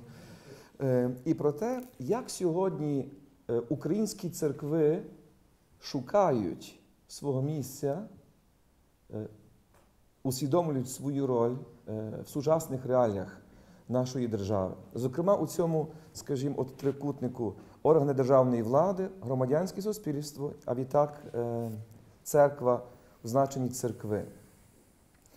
Хочу підкреслити, що Всеукраїнська рада церков і релігійних, організацій громадська організація. Е, Хоча е, не всі про це знають. Я пригадую, що е, за часів президента Януковича одна висока особа назвала її Радою церков при президенті України. Ми категорично проти цього протестували, оскільки сама її е, е, історія заснування якраз і полягала в тому, що в незалежній українській державі церкви намагалися всіляко звільнити себе від інструменталізації з боку держави. Тобто мати оцей простір свободи для того, щоб бути собою. Е, і, властиво, десь той шлях, який сьогодні проходить, скажімо, релігійне середовище, церкви як такі, це є шлях у такого звільнення. Це десь дуже влучно підкреслив е, мій попередник Блаженніший Любомир у своєму такому славному слові, яке він виголосив з нагоди перенесення осідку глави церкви зі Львова до Києва. Е, Єдиний Божий люд України Київських горах. І ось коли він говорить саме про ці стосунки церкви і держави, він накреслює шлях від державного підпорядкування до соціального служіння. Я думаю, що цей шлях, який накреслив Любомир, це той шлях, якому йдуть всі церкви сьогодні в Україні, але це є шлях, який накреслив слуга Божий, праведний митрополит Андрей Шептицький. Я поставлю перед собою ще одне запитання для того, щоб ну, ясно можна було зрозуміти, хто є сьогодні первинним співрозмовником, або до кого в першу чергу сьогодні звертається українська церква. Ось хто є адресатом цього послання, як будувати рідну хату? Якщо врахуємо, що воно написане у грудні 41-го року, мабуть, це не були органи державної влади. Бо говорити з німецькими окупантами про будівництво рідної хати для українців є нонсенс. Так само, мабуть, це не була чи радянська е, е, влада, чи яка-небудь інша. На моє переконання, адресатом цього послання є український народ, саме громадянське суспільство. І це є найперший вектор того діалогу, який вів у всій своїй пастирській діяльності е, митрополит Андрей е, Шептицький. Це є той же найперший співрозмовник, якого завжди маємо, зокрема, ми, як Українська греко-католицька церква, яка намагається висловлюватися щодо квестії соціальної, суспільних питань, які сьогодні е, нас, нас турбують. Я пригадую одну статтю отця Кирила Говоруна, е, відомого священника Української православної Московського патріархату, який він написав під час Майдану на початку 2014 року. Дуже цікаво, він, як представник православної церкви, нарешті відкриває, що церква має якогось іншого співрозмовника, крім державної влади. Що церква повинна в першу чергу говорити до людей, зокрема до тих людей, які зібралися на Майдані. Дивіться, як цікаво, Майдан приймав кожного священника як свого, того, хто приходив на Майдан і звертався до людей. Тому то очевидно, що е, ми сьогодні теж говоримо про державно-церковні стосунки. Всеукраїнська Рада церков опрацювала цілу концепцію е, е, державно-церковних стосунків. Я особисто з цією концепцією вже говорив з двома президентами, якщо так можна говорити про особисті стосунки. І ця концепція побудована на партнерських стосунках.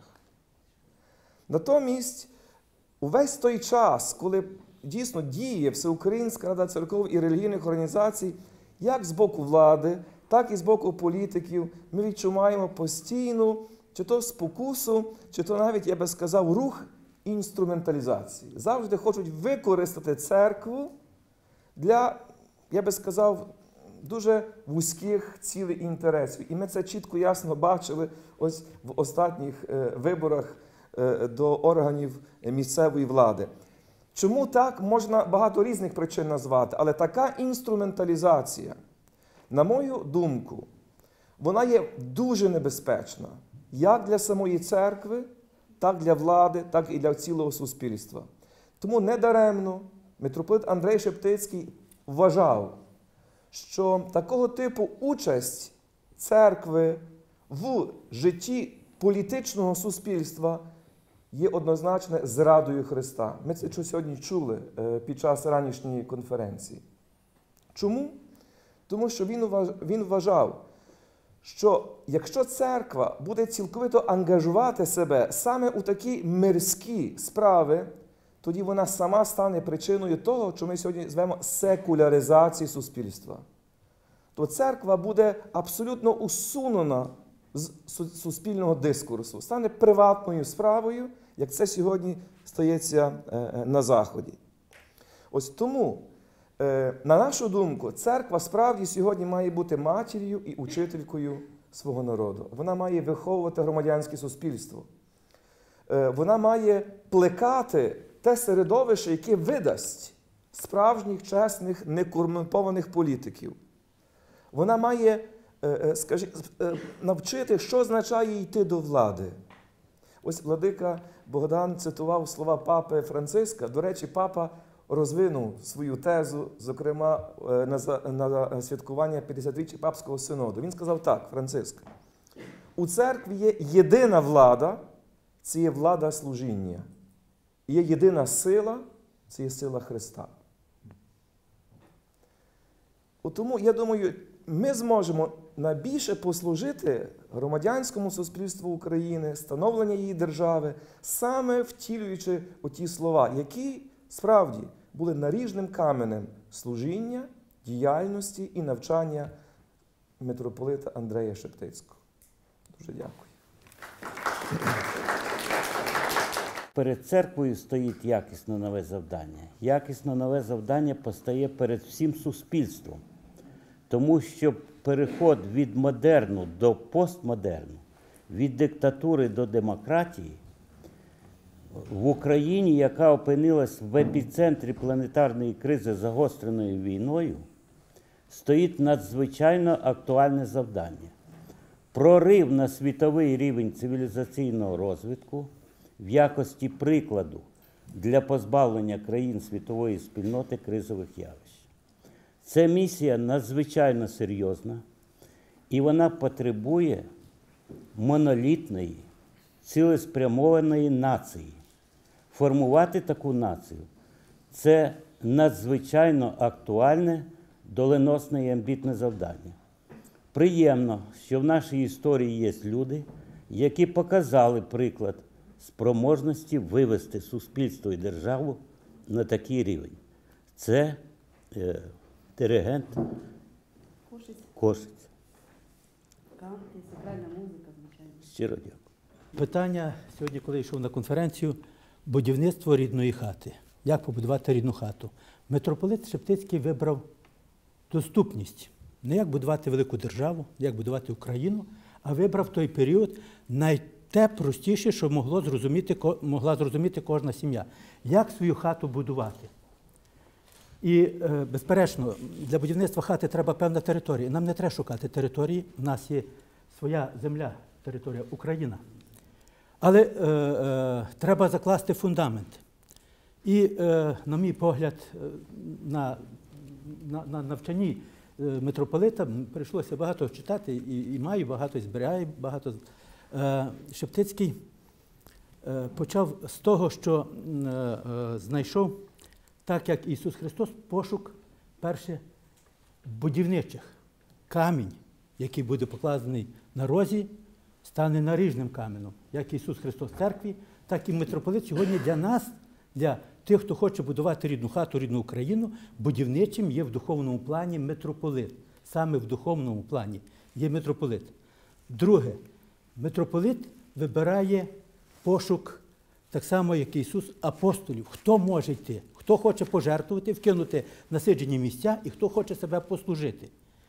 І цим він підкреслює всі верстви, як от пан Мирослав сьогодні говорив про соціальну квестію, квестію соціальній, де чітко митрополит розписує кожного роль як держави, як роботодавця, як спілок е, різних і творчих. Він показує кожному своє, свою місію і завдання до цього.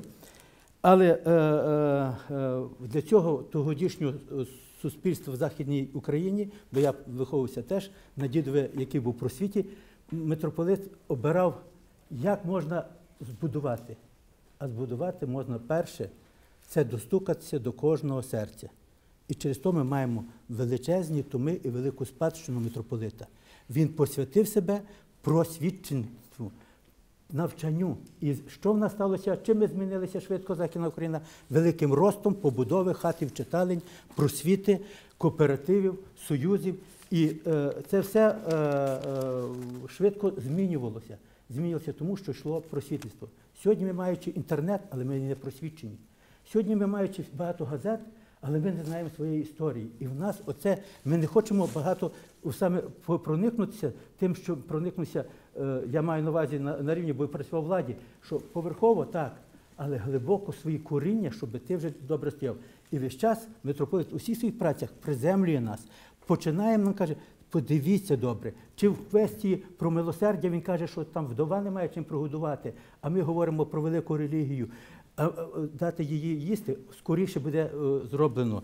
І е, хочу сказати такий великий спектр залучення до того всього. Просвіти, молодіжні організації, пластуни, кооперативи. Появляється маса е, газет, журналів. Тобто ця особистість, ця, це для нас ця постать, це, це пророцтво, якого Бог послав, відкрила всі можливості, як розбудовувати ту хату. Чи ми їх задіяли, чи не задіяли. Я думаю, от як свої організації. Завтра я хочу прийти там на роботу і сказати, ви знаєте, в чому я бачу, ми не змінюємося. В нас е, нема Христа в хаті. Нас нема Бога. Ми, в нас є Бог, от поверхово є. Але що кожного ми, як от митрополит сказав, він відкрив нашим батькам віру, він їх наблизив до віри, діда мого, і він коли казав, до церкви треба йти. Чи кожен ходить кожен день, чи хочеш ти в неділю, як ти не підеш до церкви, ти паралітик, ти не, ти, ти не захищений, ти вражений. От що треба пробудити наше християнське суспільство, просто про нам стати, стати тими християнами не космо, не модерне, не нічого. Ту простоту відкриття Бога, якого ще багато у нас не відкрили. 70 років вирвало з нас. Багато. На Західній Україні пияцтво, церкви закриті, вирвало це все. І сьогодні не дуже багато Христос є в хаті. Не в кожного знайдеш хрест, і не кожен запустив до себе. Просвітництво. Перше, що нам, як кажуть, треба пошуки апостолів. Друге, що треба, третє, що треба е, е, озброєння любові. У нас ненависті дуже багато появилося. У нас дуже багато озлобленості. Вимоги до депутата, вимоги до кожного, тільки не до своєї організації, не до своєї сім'ї, не до своєї родини, а ми до всіх маємо претензії. Митрополит того не вчить, він того не показував. Він показує е, любов, милосердя і праця. Але праця підкріплена духовною силою. От і саме хромаємо ми в суспільстві своєму, в своїй державності, відсутність моральності в тих, хто йде і до влади, в тих, хто очолює колективи, відсутність чеснот, навіть комуняки, які взяли собі в той час моральний кодекс будівника комунізму, пере- передерши все з Біблії сьогодні. Сьогодні нам всюди треба е, е, кодекс моральності, кодекс того, щоб ми е, правда. Я йшов на роботу три роки тому перехрест Криму. Я казав, що профспілки така велика організація. Бог є правда, а ви організація боротьби за справедливість. То давайте покажімо ту боротьбу за ту справедливість своєї власної держави. І він показує тут в книзі, яка є власне, що самим цінним, отут завдання для нас є, е, бо кожному дарую. От я маю первичку, купляю, і от хтось говорить, прочитай, тут написано про проспілки, які вони є. Але тут і прописано про владу, яка вона є. Ви читали, як він тут говорить, що ласі на гріш захланні е, вносять роздори і тому подібне. Тут все тут про кожному дана нас характеристика. І е, основним, я кажу, поступом бачу ділитися е, Шептицьким, ділитися тим, що ми знаємо. Е, і відкриття е, виставки, і е, дошки. І ще в музеї Києва, коли відкривалася виставка якраз митрополита Шептицького літом, привез отець Себастьян зі Львова. Нам треба просто-напросто Шептицько пустити в нашу Україну, і ця духовність, вона переможе. Кожен тоді задумається, навіть той, хто підписав постанову про відзначення митрополита Шептицького року, і ті, хто прийняли укази про відзначення, вони повинні е, при кожній зустрічі. А як би Шептицький поступив в тім випадку? От як ми так собі поступимо, як би ми поступили в тому випадку, як поступав митрополит Шептицький, ми змінимо Україну. Ми не будемо шукати порівняння там з іншими державами. Не варто того робити. Варто просвятити свою працю, як митрополит Шептицький, і в кожній організації, в кожній родині, що я хочу в своїй організації, змінювати себе, змінювати і ми тоді е, ну, в швидкому часі, тому що Божа ласка, вона приходить раптово. Вон їй не треба багато просити. Молишся, вона на тебе впаде, і ти навіть не розумієш, звідки вона появилася. Віру вернути народу в християнську українську державу. Дякую. Я хочу сказати, що не так все погано у нас, тому що є такі, як Шептицький, які надихають, є і ми, які працюємо і робимо. І той же Майдан, який був започаткований її цінності, вони зараз продовжують втілюватися. Тому що, коли кажуть е, там е, деякі критичні речі і констатація е, факту, я проти цього, тому що багато чого змінюється, і саме на Майдані ми були разом з священниками, ми були разом із представниками ось із паном Петровичем. Ми були, і ми розуміли, що саме молитва нас об'єднує, і ми розуміли, що нам потрібно побудувати духовну державу на духовних цінностях, тому що матеріальне саме нас дуже дієво і активно відштовхнуло. І тому Майдан постав. Е, Зараз, е, так як казав Шептицький, що е, потрібно менше гарних слів казати, а потрібно кожночасно, кожнохвилинно працювати на свій народ, на свою державу. Оце ми повинні якби робити. І е, зараз, як ніколи, е, стоїть е, і потреба у вас саме в науковцях, саме в духовенстві, тому що я вважаю, що е, має бути зараз інтелектуальний майдан, не майдан, а інтелектуальна боротьба, інтелектуальна праця, інтелектуальна війна. Від цього дуже багато чого залежить. Ми повинні мати вишкіл, ми повинні мати зброю, але від вашої роботи дуже багато чого залежить, тому що всі напрацювання вони повинні бути саме сьогодні, вони дуже потрібні. І коли е, раніше е, в минулі роки це нівелювалось, зараз ваша робота дуже необхідна, і ви повинні окрилятися, е, спілкуватися і доносити ваші напрацювання. Дякую. коли вже після 40-х років, коли було переселення, масове заслання на Сибір, і вже, а вже 70-ті роки це коли вже з Західної України їхали туди видобувати нафту, то все це сприяло тому, що греко-католиків у Сибіру є досить е, багата кількість. Десь близько 20 е, парафій е, таки зараз є. Значно менше є у е, європейській частині Росії, є е, в в Санкт-Петербурзі, Калінінграді на Балтійському узбережжі, і є е, три парафії у Москві: е, українська, україномовна парафія і дві російськомовних.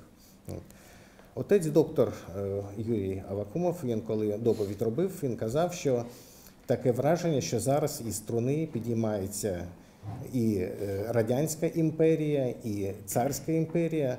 Так, це насправді є, і жити всередині того це досить некомфортно. Іноді здається, що хтось чи якийсь газ розпиляє у метро, чи хтось покусав людей. Я не, не, не можна не можна спілкуватися, бо вони мають якусь викривлене якесь бачення. На жаль, серед російських католиків це є теж, і досить багато російських католиків вони не сприймають події в Україні, ті, що трапилися останні два роки. Те, що казали сьогодні е, про діяльність митрополита Андрея за часів е, е, уряду пацифікації у Польщі. Це досить таке теж, такий теж, теж серйозний, такий, такий серйозний приклад, бо ми бачимо, що влада в Росії вона досить ну вона не гарна, це загарбницька. Ми бачимо, що вона робить в східних теренах України. Але ми бачимо й те, що опозиція, яка є в Росії, це, як то кажуть, теж не подарок, бо вона є антиклерикальна і більш того, вона значною мірою є антихристиянська. Себто, якщо нам виробляти свою позицію, то е, треба підтримувати усі ті добрі наміри, які має і чинна влада, які має і опозиція.